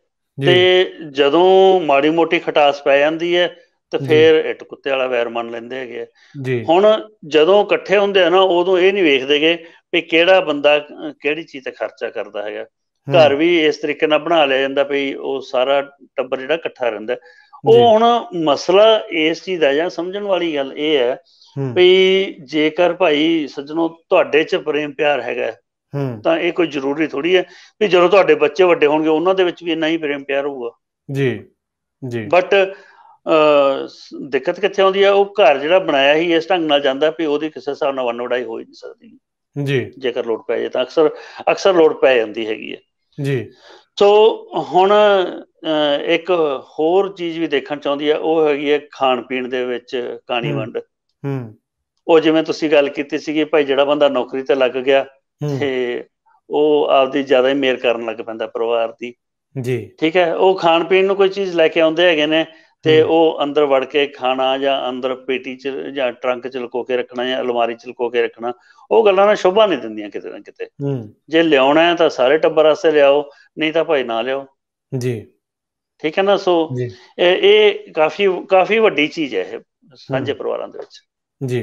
ਤੇ ਇਹਦੇ ਨਾਲ ਜਿਹੜੇ ਜਿਹੜੇ ਨਿਊਕਲੀਅਰ ਫੈਮਲੀਆਂ ਛੋਟੇ ਪਰਿਵਾਰਾਂ ਦੇ ਵਿੱਚ ਫਿਰ ਉਹਨਾਂ ਦੇ ਵਿੱਚ ਉਹ ਕਿਵੇਂ ਕਰਨ ਕਿਉਂਕਿ ਵੱਡੇ ਪਰਿਵਾਰਾਂ ਦਾ ਚਲੋ ਫਿਰ ਵੀ ਆਪਾਂ ਮੰਨ ਲੈਂਦੇ ਆ ਵੀ ਦੂਜਾ ਭਰਾ ਗਾ ਵੀ ਕਿਸੇ ਦੋ ਅੱਡ ਹੋਣਾ ਹੀ ਆ ਕਿਸੇ ਨਾ ਕਿਸੇ ਦਿਨ ਸਾਰਾ ਕੁਝ ਇੱਥੇ ਹੀ ਹੁੰਦਾ ਹਨਾ ਜੀ? ਪਰ ਜਿੱਥੇ ਹੁਣ ਹਸਬੰਡ ਵਾਈਫ ਆ ਜਾਂ ਸੱਸ ਸਹੁਰਾ ਨਾਲ ਰਹਿੰਦੇ ਆ ਜਾਂ ਮਤਲਬ ਲੜਕੀ ਦੀ ਮਾਂ ਕਈ ਵਾਰੀ ਆ ਕੇ ਵਿਦੇਸ਼ਾਂ ਦੇ ਵਿੱਚ ਤਾਂ ਹੁਣ ਇਹ ਵੀ ਚੱਲ ਪਿਆ ਹੈਗਾ ਹਨਾ ਧਾਰਨਾ। ਉੱਥੇ ਫਿਰ ਉਹ ਪਰਿਵਾਰਾਂ ਨੂੰ ਕਿਹੜੀਆਂ ਚੀਜ਼ਾਂ ਨੇ ਜਿਨ੍ਹਾਂ ਦਾ ਧਿਆਨ ਰੱਖਣਾ ਚਾਹੀਦਾ ਹੈਗਾ? ਉੱਥੇ ਸਭ ਤੋਂ ਵੱਡੀ ਗੱਲ ਤਾਂ ਆਪਾਂ ਕਰ ਹੀ ਚੁੱਕੇ ਹੈਗੇ ਆ। ਕਿ ਬੱਚਿਆਂ ਨੂੰ ਬੱਚਿਆਂ ਤੋਂ ਭਾਵ ਜਿਹੜੇ ਜਿਨ੍ਹਾਂ ਦੇ ਕੋਲ ਆਪਣੇ ਧੀ ਜਵਾਈ ਕੋਲ ਜਾਂ ਮਾਂ ਆਪਣੇ ਨੂੰ ਪੁੱਤ ਕੋਲੇ ਆਉਂਦੇ ਆ ਉਹਨਾਂ ਉਹਨਾਂ ਨੂੰ ਮੈਂ ਬੱਚੇ ਕਹਿ ਰਿਹਾ ਵੀ ਉਹਨਾਂ ਨੂੰ ਵੀ ਉਹਨਾਂ ਦਾ ਨਿੱਜੀ ਟਾਈਮ ਦਿੱਤਾ ਜਾਣਾ ਚਾਹੀਦਾ ਹੈਗਾ। ਜੀ। ਇਹ ਇਹ ਬਹੁਤ ਵੱਡੀ ਚੀਜ਼ ਹੈਗੀ ਹੈ ਜਿਹੜੀ ਕਿ ਅਕਸਰ ਇਹ ਦਿੱਕਤ ਪੈਦਾ ਕਰਦੀ ਹੈਗੀ ਹੈ। ਜੀ। ਤੇ ਬਾਕੀ ਜਿੰਨਾ ਕਿ ਵੀ ਆਪਾਂ ਦੇਖਿਆ ਹੈਗਾ ਇੱਥੇ ਆਏ ਹੋਏ ਮਾਈਗ੍ਰੈਂਟਸ ਨੂੰ ਤਾਂ ਉਹ ਤਾਂ ਹਮੇਸ਼ਾ ਹੀ ਆਦੇ ਮਾਪਿਓ ਦੇ ਪਿਆਰ ਨੂੰ ਤਰਸਦੇ ਹੁੰਦੇ ਹੈਗੇ ਆ। ਤੇ ਇਹ ਜਾਪਦਾ ਨਹੀਂ ਹੈਗਾ ਕਿ ਉਹਨਾਂ ਨੇ ਸਿਰਫ ਕਿਸੇ ਖਾਸ ਮਕਸਦ ਕਰਕੇ ਜਿਵੇਂ ਬੱਚਿਆਂ ਦੀ ਪਰਵਰਿਸ਼ ਕਰਕੇ ਬੁਲਾਇਆ ਹੋਵੇ। ਬਟ ਇੱਥੇ ਇੱਕ ਚੀਜ਼ ਦੀ ਗਲਤ ਫਹਿਮੀ ਜ਼ਰੂਰ ਹੋ ਸਕਦੀ ਹੈ ਕਿਸੇ ਵੀ ਧਰਮ ਨੂੰ ਕਿ ਉਹਨਾਂ ਨੂੰ ਕਿਸੇ ਖਾਸ ਮਕਸਦ ਕਰਕੇ ਬੁਲਾਇਆ ਉਹਨਾਂ ਦਾ ਜੀ ਨਹੀਂ ਲੱਗਦਾ ਕਿਸੇ ਕਾਰਨ ਕਰਕੇ। ਜੀ। ਜੀ ਜਿਵੇਂ ਕਿ ਉਹਨਾਂ ਦਾ ਘਰ ਦੂਰ ਹੁੰਦਾ ਕਈ ਵਾਰੀ। ਆਪਾਂ ਸਸਤਾ ਘਰ ਲੈਣ ਦੇ ਚੱਕਰ ਦੇ ਵਿੱਚ ਆਬਾਦੀ ਤੋਂ ਥੋੜਾ ਹਟਵਾ ਜਾਂ ਜਿੱਥੇ ਆਪਣੀ ਕਮਿਊਨਿਟੀ ਨਾ ਹੋਵੇ ਜਾਂ ਕਿਸੇ ਧਾਰਮਿਕ ਸਥਲ ਤੋਂ ਦੂਰ ਜਗ੍ਹਾ ਬਣਾ ਲੈਣੇ ਜਿੱਥੇ ਕਿ ਇਕੱਠੇ ਹੋ ਸਕਦੇ ਹੈਗੇ ਜੀ। ਸੋ ਉੱਥੇ ਜਿਹੜੇ ਪਰਿਵਾਰਕ ਮੈਂਬਰ ਆਉਂਦੇ ਨੇ ਆਪਣੇ ਵੱਡੇ ਬੜੇ ਬਜ਼ੁਰਗ ਆਉਂਦੇ ਨੇ ਉਹਨਾਂ ਨੂੰ ਜੀ ਲਾਉਣਾ ਔਖਾ ਹੋ ਜਾਂਦਾ। ਅੰਦਰ ਵੜ ਕੇ ਕਿੰਨਾ ਚਿਰ ਬੈਠੇ ਰਹਿਣਗੇ ਟੀਵੀ ਕਿੰਨਾ ਚਿਰ ਵੇਖ ਲੈਣਗੇ। ਘੱਟੋ ਘੱਟ ਉਹਨਾਂ ਨੂੰ ਐਤਵਾਰ ਤਾਂ ਗੁਰਦੁਆਰਾ ਸਾਹਿਬ ਜਾਂ ਮੰਦਿਰ ਲਿਜਾਇਆ ਜਾ ਸਕਦਾ ਨਾ। ਜੀ। ਜੀ। ਇੱਕ ਹੋਰ ਚੀਜ਼ ਜਿਹੜੀ ਦੇਖਣ ਚਾਹੁੰਦੀ ਹੈ ਵੀ ਕਈ ਵਾਰੀ ਅਕਸਰ ਪਾਰਟੀਆਂ ਤੇ ਜਾਂਦੇ ਹੈਗੇ ਆ ਤੇ ਉੱਥੇ ਉੱਥੇ ਬਜ਼ੁਰਗਾਂ ਨੂੰ ਲਿਜਾਣ ਦੇ ਵਾਸਤੇ ਥੋੜਾ ਜਿਹਾ ਨਾਕਾਨੀ ਵਾਲਾ ਰੋਈਆ ਅਪਣਾਇਆ ਜਾਂਦਾ ਮਾਪਿਆਂ ਨੂੰ ਨਹੀਂ ਲੈ ਕੇ ਜਾਂਦੇ ਤਾਂ ਉਹ ਵੀ ਬਹੁਤ ਬੁਰਾ ਲੱਗਦਾ ਹੈਗਾ। ਉਹ ਉਹਨਾਂ ਦਾ ਵੀ ਕੀ ਕਸੂਰ ਹੈਗਾ ਭਈ ਉਹ ਘਰੇ ਕਿਉਂ ਬੈਠੇ ਰਹਿਣ? ਹੂੰ। ਜਦੋਂ ਤੁਹਾਡਾ ਇੰਜੋਏ ਕਰਨ ਦਾ ਹੱਕ ਬਣਦਾ ਤੇ ਉਹਨਾਂ ਦਾ ਨਹੀਂ ਬਣਦਾਗਾ ਜਦੋਂ ਕਿ ਜਦੋਂ ਆਪਾਂ ਛੋਟੇ ਸੀਗੇ ਉਹ ਤਾਂ ਆਪਾਂ ਨੂੰ ਮੂਰੇ ਲੈ ਕੇ ਜਾਂਦੇ ਹੁੰਦੇ ਸੀਗੇ। ਹੂੰ। ਠੀਕ ਹੈ ਨਾ? ਅੱਜ ਉਹਨਾਂ ਨੂੰ ਆਪਣੀ ਲੋੜ ਹੈਗੀ ਹੈ ਤਾਂ ਆਪਾਂ ਨੂੰ ਇਹ ਆਪਦੇ ਫਰਜ਼ ਅਦਾ ਕਰਨੇ ਬਣਦੇ ਨੇ। ਸੋ ਉਹਨਾਂ ਦੇ ਮਨੋਰੰਜਨ ਦਾ ਉਹਨਾਂ ਦੇ ਖਾਣ ਪੀਣ ਦਾ ਹੁਣ ਕਈ ਵਾਰੀ ਖਾਣ ਪੀਣ ਤੋਂ ਘਰਾਂ 'ਚ ਬੜੇ ਕਲੇਸ਼ ਹੁੰਦੇ ਨੇ। ਜੀ। ਖਾਣ ਪੀਣ ਦੇ ਵਿੱਚ ਕੋਈ ਚੀਜ਼ ਬਜ਼ੁਰਗਾਂ ਨੂੰ ਨਹੀਂ ਪਸੰਦ ਹੈਗੀ ਤਾਂ ਉਹ ਅਵੋਇਡ ਵੀ ਕੀਤੀ ਜਾ ਸਕਦੀ ਹੈ ਜਾਂ ਉਹਨਾਂ ਵਾਸਤੇ ਸੈਪਰੇਟ ਚੀਜ਼ ਬਣਾਈ ਜਾ ਸਕਦੀ ਹੈਗੀ ਹੈ। ਜੀ। ਹੁਣ ਦੂਜੀ ਧਿਰ ਦੀ ਵੀ ਕੋਈ ਕੰਪਲੇਂਟ ਹੋ ਸਕਦੀ ਹੈ ਜਿਵੇਂ ਕੋਵਿਡ ਫੇਜ਼ ਸੀਗਾ। ਕੋਵਿਡ ਫੇਜ਼ ਦੇ ਵਿੱਚ ਬਾਹਰ ਜਾਣਾ ਮਨਾ ਸੀਗਾ। ਜੀ। ਬਟ ਇਹੋ ਜਿਹੇ ਵੀ ਕਈ ਆਏ ਨੇ ਬਜ਼ੁਰਗ ਆਪਣੇ ਪਿੰਡਾਂ ਤੋਂ ਉਹ ਉਹ ਪਹਿਲੀ ਗੱਲ ਤਾਂ ਇੱਥੇ ਘਰ ਛੋਟੇ ਨੇ ਉਹਨੇ ਉਹਨੇ ਵੱਡੀਆਂ ਹਵੇਲੀਆਂ ਜਾਂ ਉਹਨੇ ਵੱਡੇ ਘਰ ਨਹੀਂ ਹੈਗੇ ਵੱਡੇ ਵੱਡੇ ਵਿਹੜੇ ਨਹੀਂ ਹੈਗੇ ਉਹੋ ਜਿਹੇ ਹਾਣੀ ਨਹੀਂ ਹੈਗੇ ਜਿਨ੍ਹਾਂ ਨਾਲ ਉਹ ਗੱਲਬਾਤ ਕਰ ਸਕਣ ਜਾਂ ਜਿਨ੍ਹਾਂ ਨੂੰ ਮਿਲ ਸਕਣ ਜਾਂ ਜੀ। ਉਹ ਆਪਣੀ ਅਹ, ਜੋ ਪਿਆਲੀ ਸਾਂਝੀ ਕਰ ਸਕਣ ਕਿਸੇ। ਦੋਸਤਾਂ ਦੇ ਨਾਲ ਤੇ ਇੱਥੇ ਹੁਣ ਇੰਨਾ ਕਲਚਰ ਨਹੀਂ ਹੈਗਾ ਵੀ ਇੱਕ ਦੂਜੇ ਦੇ ਇੰਨਾ ਜਾਇਆ ਜਾਵੇ। ਸੋ। ਕੋਵਿਡ ਫੇਜ਼ ਦੇ ਵਿੱਚ ਵੀ ਇਹ ਕਾਫੀ ਘਰਾਂ ਦੇ ਵਿੱਚ ਪ੍ਰੋਬਲਮਸ ਆਈਆਂ ਨੇ ਕਿ ਬਜ਼ੁਰਗ ਕਹਿੰਦੇ ਨਾ ਭਾਈ ਆਪਾਂ ਤਾਂ ਆਪਦੇ ਇੱਥੋਂ ਵਾਲੇ ਯਾਰ ਨੂੰ ਮਿਲਣਾ ਹੀ ਮਿਲਣਾ ਜਦੋਂ ਕਿ ਕੋਈ ਇੱਕ ਦੂਜੇ ਦੇ ਘਰ ਵਿੱਚ ਨਹੀਂ ਜਾ ਸਕਦਾ ਸੀਗਾ। ਸੋ ਉੱਥੇ ਉਹਨਾਂ ਬਜ਼ੁਰਗਾਂ ਦਾ ਵੀ ਕੁਝ ਨਾ ਕੁਝ ਫਰਜ਼ ਬਣਦਾ ਕਿ ਉਹ ਇੱਥੋਂ ਦੇ ਰੂਲਸ ਐਂਡ ਰੈਗੂਲੇਸ਼ਨਸ ਨੂੰ ਜਾਂ ਆਪਣੇ ਬੱਚਿਆਂ ਦੀਆਂ ਹੋ ਸਕਣ ਵਾਲੀਆਂ ਸੰਭਾਵਿਤ ਸਮ- ਦਿੱਕਤਾਂ ਨੂੰ ਧਿਆਨ ਦੇ ਵਿੱਚ ਰੱਖਣ। ਕਿ ਉਹ ਕਿਸੇ ਕਾਨੂੰਨੀ ਪਛੜੇ 'ਚ ਨਾ ਫਸ ਜਾਣ। ਕਿਉਂਕਿ ਉੱਥੇ ਤਾਂ ਖੁੱਲ੍ਹਾ ਹੀ ਚੱਲਦਾ ਨਾ ਕੰਮ ਉੱਥੇ ਪੁਲਿਸ ਵਾਲੇ ਤੇ ਵੀ ਗੱਲ ਪੈ ਜਾਂਦਾ ਕਿਸੇ ਟਾਈਮ ਬਟ ਇੱਥੇ ਉਹ ਕੰਮ ਨਹੀਂ ਚੱਲਦਾ ਨਾ। ਜੀ। ਕਿ ਇਹਦੇ ਵਿੱਚ। ਇੱਕ ਹੋਰ ਵੀ ਚੀਜ਼ ਹੈ ਚਲੋ ਆਪਾਂ ਨੂੰਹ ਵਾਲੇ ਐਂਗਲ ਤੋਂ ਵੀ ਗੱਲ ਕਰ ਲਿਆ ਬੱਚਿਆਂ ਵਾਲੇ ਐਂਗਲ ਤੋਂ ਵੀ ਕਰ ਲਾ ਵੀ ਮਾਪਿਆਂ ਦਾ। ਹੋਇਆ ਕਈ ਵਾਰੀ ਮਾਪਿਆਂ ਦੇ ਵਿੱਚ ਵੀ ਮੈਂ ਦੇਖਿਆ ਕੇਸ ਇੱਥੇ ਵੀ ਦੇਖਿਆ ਵੀ ਸੱਸ ਕਪੱਤੀ ਹੋ ਗਈ ਕਿਉਂਕਿ 올ਡ ਸਕੂਲ ਜਿੱਦਾਂ ਆਪਾਂ ਕਹਿ ਦਈਏ ਵੀ ਨਵੇਂ ਯੁੱਗ। ਮੁਤਾਬਕ ਉਹਨਾਂ ਨੇ ਆਪਣੇ ਆਪ ਨੂੰ ਨਹੀਂ ਢਾਲਿਆ ਹੈਗਾ ਨਹੀਂ ਟਾਲਿਆ ਜਾਂਦਾ ਹਾਂ ਸੋ ਇਹ ਵੀ ਜਿਹੜੀਆਂ ਚੀਜ਼ਾਂ ਹੈਗੀਆਂ ਸੋ ਮਤਲਬ ਜੇ ਆਪਾਂ ਬਰੀਕ ਤੰਦ ਟੋਟਲ ਓਵਰਆਲ ਇਹਦੀ ਜਿਹੜੀ ਕਿ ਫੜਨੀ ਹੋਵੇ ਪਰਿਵਾਰਕ ਸਮੱਸਿਆਵਾਂ ਦੀ ਤਾਂ ਮੈਨੂੰ ਲੱਗਦਾ ਵੀ ਜਿੰਨੀ ਮੈਂ ਤੁਹਾਡੀ ਗੱਲਬਾਤ ਦੇ ਵਿੱਚ ਸਮਝਿਆ ਕਿ ਲੋੜ ਤਾਂ ਇਹ ਹੈ ਵੀ ਪਰਿਵਾਰ 'ਚ ਰਹਿੰਦੇ ਹਰ ਬੰਦੇ ਨੂੰ ਅੰਤਰਝਾਤ ਕਰਨੀ ਚਾਹੀਦੀ ਹੈ ਆਪਣੇ ਅੰਦਰ। ਦੇਖਣਾ ਚਾਹੀਦਾ ਆਪਣੇ ਅੰਦਰ। ਦੇਖਣਾ ਚਾਹੀਦਾ ਆਪਣੇ ਅੰਦਰ ਦੇਖ ਕੇ ਜਿਹੜੇ ਆਪਣੇ ਨੁਕਸ ਨੇ ਉਹਨਾਂ ਨੂੰ ਦੂਜਿਆਂ ਨਾਲ ਜਾਣੀ ਕਿ ਕੰਪੈਰੀਟਿਵਲੀ ਉਹਨੂੰ ਦੇਖਣਾ ਚਾਹੀਦਾ ਐਨਾਲਾਈਸਿਸ ਕਰਨਾ। ਚਾਹੀਦਾ ਵੀ ਕੀ ਕਿੱਥੇ ਕਿੱਥੇ ਦਿੱਕਤਾਂ ਨੇ ਜਿਹੜੀਆਂ ਆਪਣੀਆਂ। ਖੂਬੀਆਂ ਉਹਨੂੰ ਵੀ ਦੇਖਣਾ ਚਾਹੀਦਾ ਜੀ ਹਨਾ ਸੋ ਮੈਨੂੰ ਲੱਗਦਾ ਕਿ ਇਹਦੇ ਵਿੱਚੋਂ ਵੀ ਬਹੁਤ ਸਾਰੀਆਂ ਚੀਜ਼ਾਂ ਨਿਕਲ ਸਕਦੀਆਂ ਲੋੜ ਤਾਂ ਇਹ ਹੈ ਵੀ ਆਪਾਂ ਆਪਣੇ ਆਪ ਦੇ ਆਪਣੇ ਔਗਣਾਂ ਤੇ ਆਪਣੇ ਗੁਣਾਂ ਦੀ ਸਵੇ ਪਹਿਚਾਣ ਕਿਵੇਂ ਕਰੀਏ ਜੇ ਆਪਾਂ ਆਪਣੇ। ਔਗਣਾਂ ਤੇ ਗੁਣਾਂ ਦੀ ਸਵੇ ਪਹਿਚਾਣ ਕਰਦੇ ਹਾਂ ਤਾਂ ਮੈਨੂੰ ਲੱਗਦਾ ਕਿ ਬਹੁਤ ਸਾਰੀਆਂ ਦਿੱਕਤਾਂ ਤੋਂ ਗਾਹੇ ਬਗਾਹੇ ਬਚਿਆ ਜਾ ਸਕਦਾ ਗਾ ਬਿਲਕੁਲ। ਇੱਕ ਨਾ ਇਹਦੇ ਇਹਦਾ ਵਧੀਆ ਸੋਲੂਸ਼ਨ ਤਾਂ ਇਹ ਵੀ ਹੋ ਸਕਦਾ ਨਾ ਕਿ ਜੋ ਜ਼ਰੂਰੀ ਗੱਲਬਾਤ ਹੈ ਹੂੰ। ਜਿਵੇਂ ਆਪਾਂ ਗੱਲਬਾਤ ਦੀ ਸ਼ੁਰੂਆਤ ਵਿੱਚ ਕੀਤਾ ਸੀਗਾ ਕਿ ਫੋਨ ਤੇ ਲੱਗੇ ਰਹਿੰਦੇ ਆ ਬਟ ਆਪਸ 'ਚ ਬੈਠਿਆਂ ਤੇ ਗੱਲਬਾਤ ਨਹੀਂ ਹੁੰਦੀ ਗੀ, ਸਾਰਾ ਟੱਬਰ ਫੋਨਾਂ ਤੇ। ਲੱਗਿਆ ਹੁੰਦਾ ਠੀਕ ਹੈ। ਹੁਣ ਆਪਣੇ ਕਮਿਊਨਿਟੀ ਦੇ ਵਿੱਚ ਕੀ ਸਿਸਟਮ ਹੈ ਵੀ ਅਗਲਾ ਬਰਦਾਸ਼ਤ ਕਰੀ ਜਾਂਦਾ ਕਰੀ ਜਾਂਦਾ ਕਰੀ ਜਾਂਦਾ ਅੰਦਰੋਂ ਤੁਹਾਡੇ ਕਹਿਣ ਨੂੰ ਉਹ ਗੋਲਾ ਜਿਹਾ ਬਣੀ ਜਾਂਦਾ ਹੈਗਾ ਤੇ ਫਿਰ ਇੱਕਦਮ ਬਲਾਸਟ ਹੋ ਜਾਂਦਾ ਉਸ ਚੀਜ਼ ਦਾ। ਜੀ ਜੀ। ਜੇਕਰ ਸਮਾਂ ਰਹਿੰਦਿਆਂ ਹੀ ਗੱਲਬਾਤ ਕਰ ਲਈ ਜਾਵੇ ਤਾਂ ਕਿ ਉਹ ਜ਼ਿਆਦਾ ਵਧੀਆ ਨਹੀਂ ਹੋਏਗਾ? ਵੀ ਜੇਕਰ ਕਿਸੇ ਇੱਕ ਮੈਂਬਰ ਨੂੰ ਕੋਈ ਦਿੱਕਤ ਹੈਗੀ ਹੈ ਤੇ ਉਹ ਗੱਲ ਕਰ ਸਕਦਾ ਤਰੀਕੇ ਨਾਲ ਗੱਲ ਕਰ ਸਕਦਾ ਭਾਈ ਮੈਨੂੰ ਆਹ ਚੀਜ਼ ਦੀ ਦਿੱਕਤ ਹੈਗੀ ਹੈ ਵੀ ਇਹਦਾ ਆਪਾਂ ਕੋਈ ਹੱਲ ਲੱਭ ਲਈਏ। ਜੀ ਠੀਕ ਜੀ ਹੈ? ਕੋਈ ਜ਼ਰੂਰੀ ਤਾਂ ਨਹੀਂ ਵੀ ਇੱਕ ਦੂਜੇ ਦੇ ਨਾਲ ਵੱਡੂ ਖਾਉ ਕਰਕੇ ਹੀ ਗੱਲਬਾਤ ਕਰਕੇ ਤੇ ਉਹਨੂੰ ਦੱਸਣਾ ਭਾਈ ਮੈਨੂੰ ਆਹ ਦਿੱਕਤ ਹੈਗੀ ਹੈ ਜੀ ਜੀ। ਤੇ ਫਿਰ ਉੱਥੇ ਇੱਕ ਇੱਕ ਚੱਕਰ ਹੋਰ ਹੈ ਭਾਜੀ ਵੀ ਜੇ ਇੱਕ ਇਹ ਵੀ ਆਪਣੀ ਕਮਿਊਨਿਟੀ ਦੀ ਪ੍ਰੋਬਲਮ ਹੀ ਮੈਂ ਤਾਂ ਕਹੂੰਗਾ ਵੀ ਜੇਕਰ ਕੋਈ ਬੰਦਾ ਕਿਸੇ ਨੂੰ ਆਰਾਮ ਨਾਲ ਕਹਿ ਕਹਿ ਵੀ ਦਿੰਦਾ ਨਾ ਭਾਈ ਮੇਰਾ ਹੁਣ ਮਨ ਠੀਕ ਨਹੀਂ ਹੈਗਾ ਮੈਂ ਗੱਲ ਨਹੀਂ ਕਰਨੀ ਚਾਹੁੰਦਾ। ਹੂੰ। ਆਪਾਂ ਬਾਅਦ ਚ ਗੱਲ ਕਰ ਲਾਂਗੇ। ਤਾਂ। ਫਿਰ ਸਾਰਟ ਕੀ ਹੋ ਗਿਆ ਤੈਨੂੰ? ਕੋਈ ਲੜਾਈ। ਹੋ ਗਈ ਕੋਈ ਤੈਨੂੰ ਕੰਮ ਤੇ ਟੈਨਸ਼ਨ ਹੋ ਗਈ ਜਾਂ ਕੋਈ ਹੋਰ ਕਿਸੇ ਨੇ ਕੁਝ ਕਹਿਤਾ ਉਹ ਬੰਦਾ ਹੁਣ ਸ਼ਾਂਤੀ ਚਾਹੁੰਦਾ 2 ਮਿੰਟ ਤੇ ਉਹਨੂੰ ਸ਼ਾਂਤੀ ਲੈ ਲੈਣ ਦੋ ਹੂੰ। ਕਿੱਡੀ ਵੱਡੀ ਉਹਨੇ ਚੀਜ਼ ਮੰਗ। ਲਈ ਬੁਰਾ ਮਨਾਉਂਦੇ ਆ ਠੀਕ ਹੈ ਨਾ? ਜੀ ਵੀ ਜੀ ਹਾਂ, ਕਿਸੇ ਨੂੰ ਹਾਂ। ਕਹਿਤਾ ਵੀ ਇਹਨੇ ਸਾਡੀ। ਇਨਸਲਟ ਕੀਤੀ ਹੈ ਇਹ ਇਨਸਲਟ ਕਰਤੀ ਜੀ ਹਾਂ ਕਿਉਂਕਿ ਜਿਵੇਂ ਆਪਾਂ ਆਲਰੇਡੀ ਗੱਲਬਾਤ ਕਰ ਚੁੱਕੇ ਹਾਂ ਨਿਜਤਾ ਕਿਸੇ ਦੀ ਉਹਦੀ ਕਦਰ ਕਰਨ ਦੀ। ਤੇ ਇੱਥੇ ਜੇਕਰ ਕੋਈ ਬੰਦਾ ਐਦਾਂ ਦੀ ਨਿਜਤਾ ਚਾਹੁੰਦਾ ਹੈਗਾ ਕੋਈ ਗੱਲਬਾਤ ਕਰਨ ਦੇ ਮੂਡ 'ਚ ਨਹੀਂ ਹੈਗਾ ਜਾਂ ਉਹ ਆਰਾਮ ਕਰਨਾ ਚਾਹੁੰਦਾ ਕੱਲਾ ਲੇਟਣਾ ਚਾਹੁੰਦਾ ਕੱਲਾ ਬੈਠਣਾ ਚਾਹੁੰਦਾ ਉਹ ਸਵੈ ਚਿੰਤਨ ਕਰਨਾ ਚਾਹੁੰਦਾ ਉਸ ਨੂੰ ਉਹਦਾ ਸਮਾਂ ਦਿੱਤਾ ਜਾਣਾ ਚਾਹੀਦਾ ਉਹਦਾ ਉਹ ਹੱਕ ਰੱਖਦਾ ਹੈਗਾ। ਜੀ। ਹੁਣ ਉਹ ਸਮਾਂ ਤਾਂ ਬਹੁਤ ਪਿੱਛੇ ਰਹਿ ਗਿਆ ਨਾ ਵੀ ਮੈਂ ਤੈਨੂੰ ਜੰਮਿਆ ਕਿ ਤੂੰ ਮੈਨੂੰ ਜੰਮਿਆ। ਜੀ ਜੀ। ਉਹ ਉਹ ਸਮਾਂ ਬਹੁਤ ਪਿੱਛੇ ਰਹਿ ਗਿਆ। ਜੀ। ਠੀਕ ਹੈ ਨਾ? ਜੀ। ਤੇ ਇੱਕ ਚੀਜ਼ ਹੋਰ ਦੇਖਣ ਚ ਆਉਂਦੀ ਹੈ ਭਾਈ ਸਾਨੂੰ ਜਦੋਂ ਅਸੀਂ ਤੁਹਾਡੀ ਉਮਰ ਚ ਹੁੰਦੇ ਸੀ ਸਾਨੂੰ ਕਿਹਾ ਜਾਂਦਾ ਸੀਗਾ ਅਸੀਂ ਤਾਂ ਕਦੇ ਨਹੀਂ ਸੀ ਬੁਰਾ ਬਣਾਇਆ ਇਸ ਚੀਜ਼ ਦਾ। ਹੂੰ। ਜੇ ਸਾਨੂੰ ਤਾਂ ਐ ਰੱਖਿਆ ਜਾਂਦਾ ਸੀ ਕੀ ਇਹ ਜ਼ਰੂਰੀ ਹੈ ਕਿ ਜੇ ਤੁਹਾਨੂੰ ਐ ਰੱਖਿਆ ਜਾਂਦਾ ਸੀ ਤਾਂ ਗਾਂ ਤੁਸੀਂ ਜਿਹੜੇ ਹੁਣ ਮੌਜੂਦਾ ਨਵੀਂ ਪੀੜ੍ਹੀ ਹੈਗੀ ਆ ਉਸ ਨੂੰ ਫਾਹੇ ਟੰਗੀ ਰੱਖੋ। ਜੀ ਜੀ। ਠੀਕ ਹੈ ਨਾ? ਵੀ ਜੋ ਪਾਸਟ ਵਿੱਚ ਹੋ ਚੁੱਕਿਆ ਉਹਦਾ ਤੁਹਾਨੂੰ ਦਰਦ ਪਤਾ ਹੈ ਵੀ ਜਦੋਂ ਕੋਈ ਇਦਾਂ ਦਾ ਬਿਹੇਵ ਕਰਦਾ ਹੈ, ਤਾਂ ਉਹਦਾ ਕੀ ਦਰਦ ਹੁੰਦਾ ਤੁਸੀਂ ਤਾਂ ਉਹ ਨਰਕ ਭੋਗ ਲਿਆ ਤੇ ਹੁਣ। ਦੂਜਿਆਂ ਨੂੰ ਤੁਸੀਂ ਖੁਸ਼ੀਆਂ ਵੰਡਦੇ ਹੋ ਹੂੰ ਜੀ ਸੋ ਬਿਲਕੁਲ ਜੀ ਸੋ ਆਪਣੀ ਮੋਟੀ-ਮੋਟੀ ਅੱਜ ਇਸ ਗੱਲਬਾਤ ਦੇ ਵਿੱਚੋਂ ਇਹੀ ਨਿਕਲਿਆ ਕਿ ਲੋੜ ਤਾਂ ਇਹ ਹੈਗੀ ਕਿ ਇੱਕ ਤਾਂ ਬੰਦੇ ਦੀ। ਹਰੇਕ ਬੰਦੇ ਦੀ ਹਸਤੀ ਦੀ ਰਿਸਪੈਕਟ ਤੇ। ਰਿਸਪੈਕਟ ਦੇ ਨਾਲੋਂ ਸਵੇ ਚਿੰਤਨ ਆਪਣੇ ਨੁਕਸ਼ਾਂ ਆਪਣੀਆਂ ਖੂਬੀਆਂ ਬਾਰੇ। ਸਾਨੂੰ ਪਤਾ ਹੋਣਾ ਚਾਹੀਦਾ ਤੇ ਦੂਜੇ ਦੀਆਂ ਖੂਬੀਆਂ ਤੇ ਦੂਜੇ ਦੇ ਗੁਣਾਂ ਨੂੰ ਸਾਨੂੰ ਸਮਝਣਾ ਚਾਹੀਦਾ ਵੀ ਜੇ ਉਹਦੇ ਚ ਔਗਣ ਆ ਤਾਂ ਉਹ ਕਿਸ ਕਾਰਨ ਨੇ ਜੇ ਖੂਬੀਆਂ ਤਾਂ ਕਿਸ ਕਾਰਨ ਨੇ। ਕਈ ਵਾਰੀ ਕੀ ਹੁੰਦਾ ਵੀ- ਕਰਨਾ ਚਾਹੀਦਾ। ਜੀ ਸਤਿਕਾਰ ਕਰਨਾ ਚਾਹੀਦਾ ਤੇ ਉਹਦੇ ਵਿੱਚੋਂ ਬਹੁਤ ਸਾਰੀਆਂ ਚੀਜ਼ਾਂ ਨਿਕਲੀਆਂ ਨਿਕਲ ਸਮੱਸਿਆਵਾਂ ਜਿਹੜੀਆਂ ਹੈਗੀਆਂ ਕਿ ਉਹਨਾਂ ਦਾ ਹੱਲ ਆਪਣੇ ਆਪ ਹੋ ਹੋ ਜਾਣਾ ਹੈਗਾ ਜੀ ਹੈਨਾ? ਇੱਕ ਨਾ ਭਾਜੀ ਆਪਾਂ ਤਾਂ। ਫੇਰ ਉਹਨਾਂ ਦੋ ਪੀੜ੍ਹੀਆਂ ਦੀ ਗੱਲ ਕਰ ਰਹੇ ਹਾਂ ਜਿਹੜੀ ਕਿ ਅੱਜ ਇੱਕ ਬਹੁਤ ਜ਼ਿਆਦਾ ਤਜਰਬਾ ਰੱਖਦੇ ਆ ਜ਼ਿੰਦਗੀ ਦਾ ਤੇ ਦੂਜੇ ਉਹਨਾਂ ਦਾ ਵੀ ਤਜਰਬਾ ਖੈਰ ਕੋਈ ਖਾਸ ਘੱਟ ਨਹੀਂ ਹੈਗਾ ਜੇਕਰ ਉਹ ਇਹਨਾਂ ਮੁਲਕਾਂ ਵਿੱਚ ਆ ਕੇ ਕਾਮਯਾਬ ਹੋ ਗਏ ਤਾਂ ਉਹਨਾਂ ਦੇ ਪੱਲੇ ਕੁਛ ਤਾਂ ਕਾਬਲੀਅਤ ਹੋਊਗੀ ਨਾ ਉਸ ਮੁੰਡੇ 'ਚ ਵੀ ਤੇ ਉਸ ਕੁੜੀ ਦੇ ਵਿੱਚ ਵੀ ਤਾਂ ਹੀ ਉਹ ਆ ਕੇ ਕਾਮਯਾਬ ਹੋਏ ਆ। ਤੇ ਜੇਕਰ ਤੁਸੀਂ ਅਗਲੀ ਪੀੜ੍ਹੀ ਨੂੰ ਲੈ ਕੇ ਚੱਲੋ ਨਾ ਜਿਵੇਂ ਹੁਣ ਮੇਰੀਆਂ ਬੇਟੀਆਂ ਨੇ ਜਾਂ ਸਹਿਰਾਜ ਹੈਗਾ ਆਪਣਾ ਭਤੀਜ ਹੈਗਾ ਸਾਡਾ ਠੀਕ ਹੈ ਤੁਸੀਂ ਉਹਨਾਂ ਬੱਚਿਆਂ ਦੇ ਨਾਲ ਕਿਸੇ ਗੰਭੀਰ ਵਿਸ਼ੇ ਤੇ ਗੱਲਬਾਤ ਕਰਕੇ ਤਾਂ ਦੇਖੋ ਉਹਨਾਂ ਬੱਚਿਆਂ ਨੂੰ ਕਿੰਨੀ ਕੁ ਜਾਣਕਾਰੀ ਹੈ ਤੇ ਕਿੱਡੇ ਉਹ ਵਧੀਆ ਵਿਚਾਰ ਪੇਸ਼ ਕਰਦੇ ਨੇ ਕਿੰਨੇ ਸਟੀਕ ਉਹ ਜਵਾਬ ਦਿੰਦੇ ਨੇ ਕਿਸੇ ਵੀ ਗੱਲਬਾਤ ਦੇ।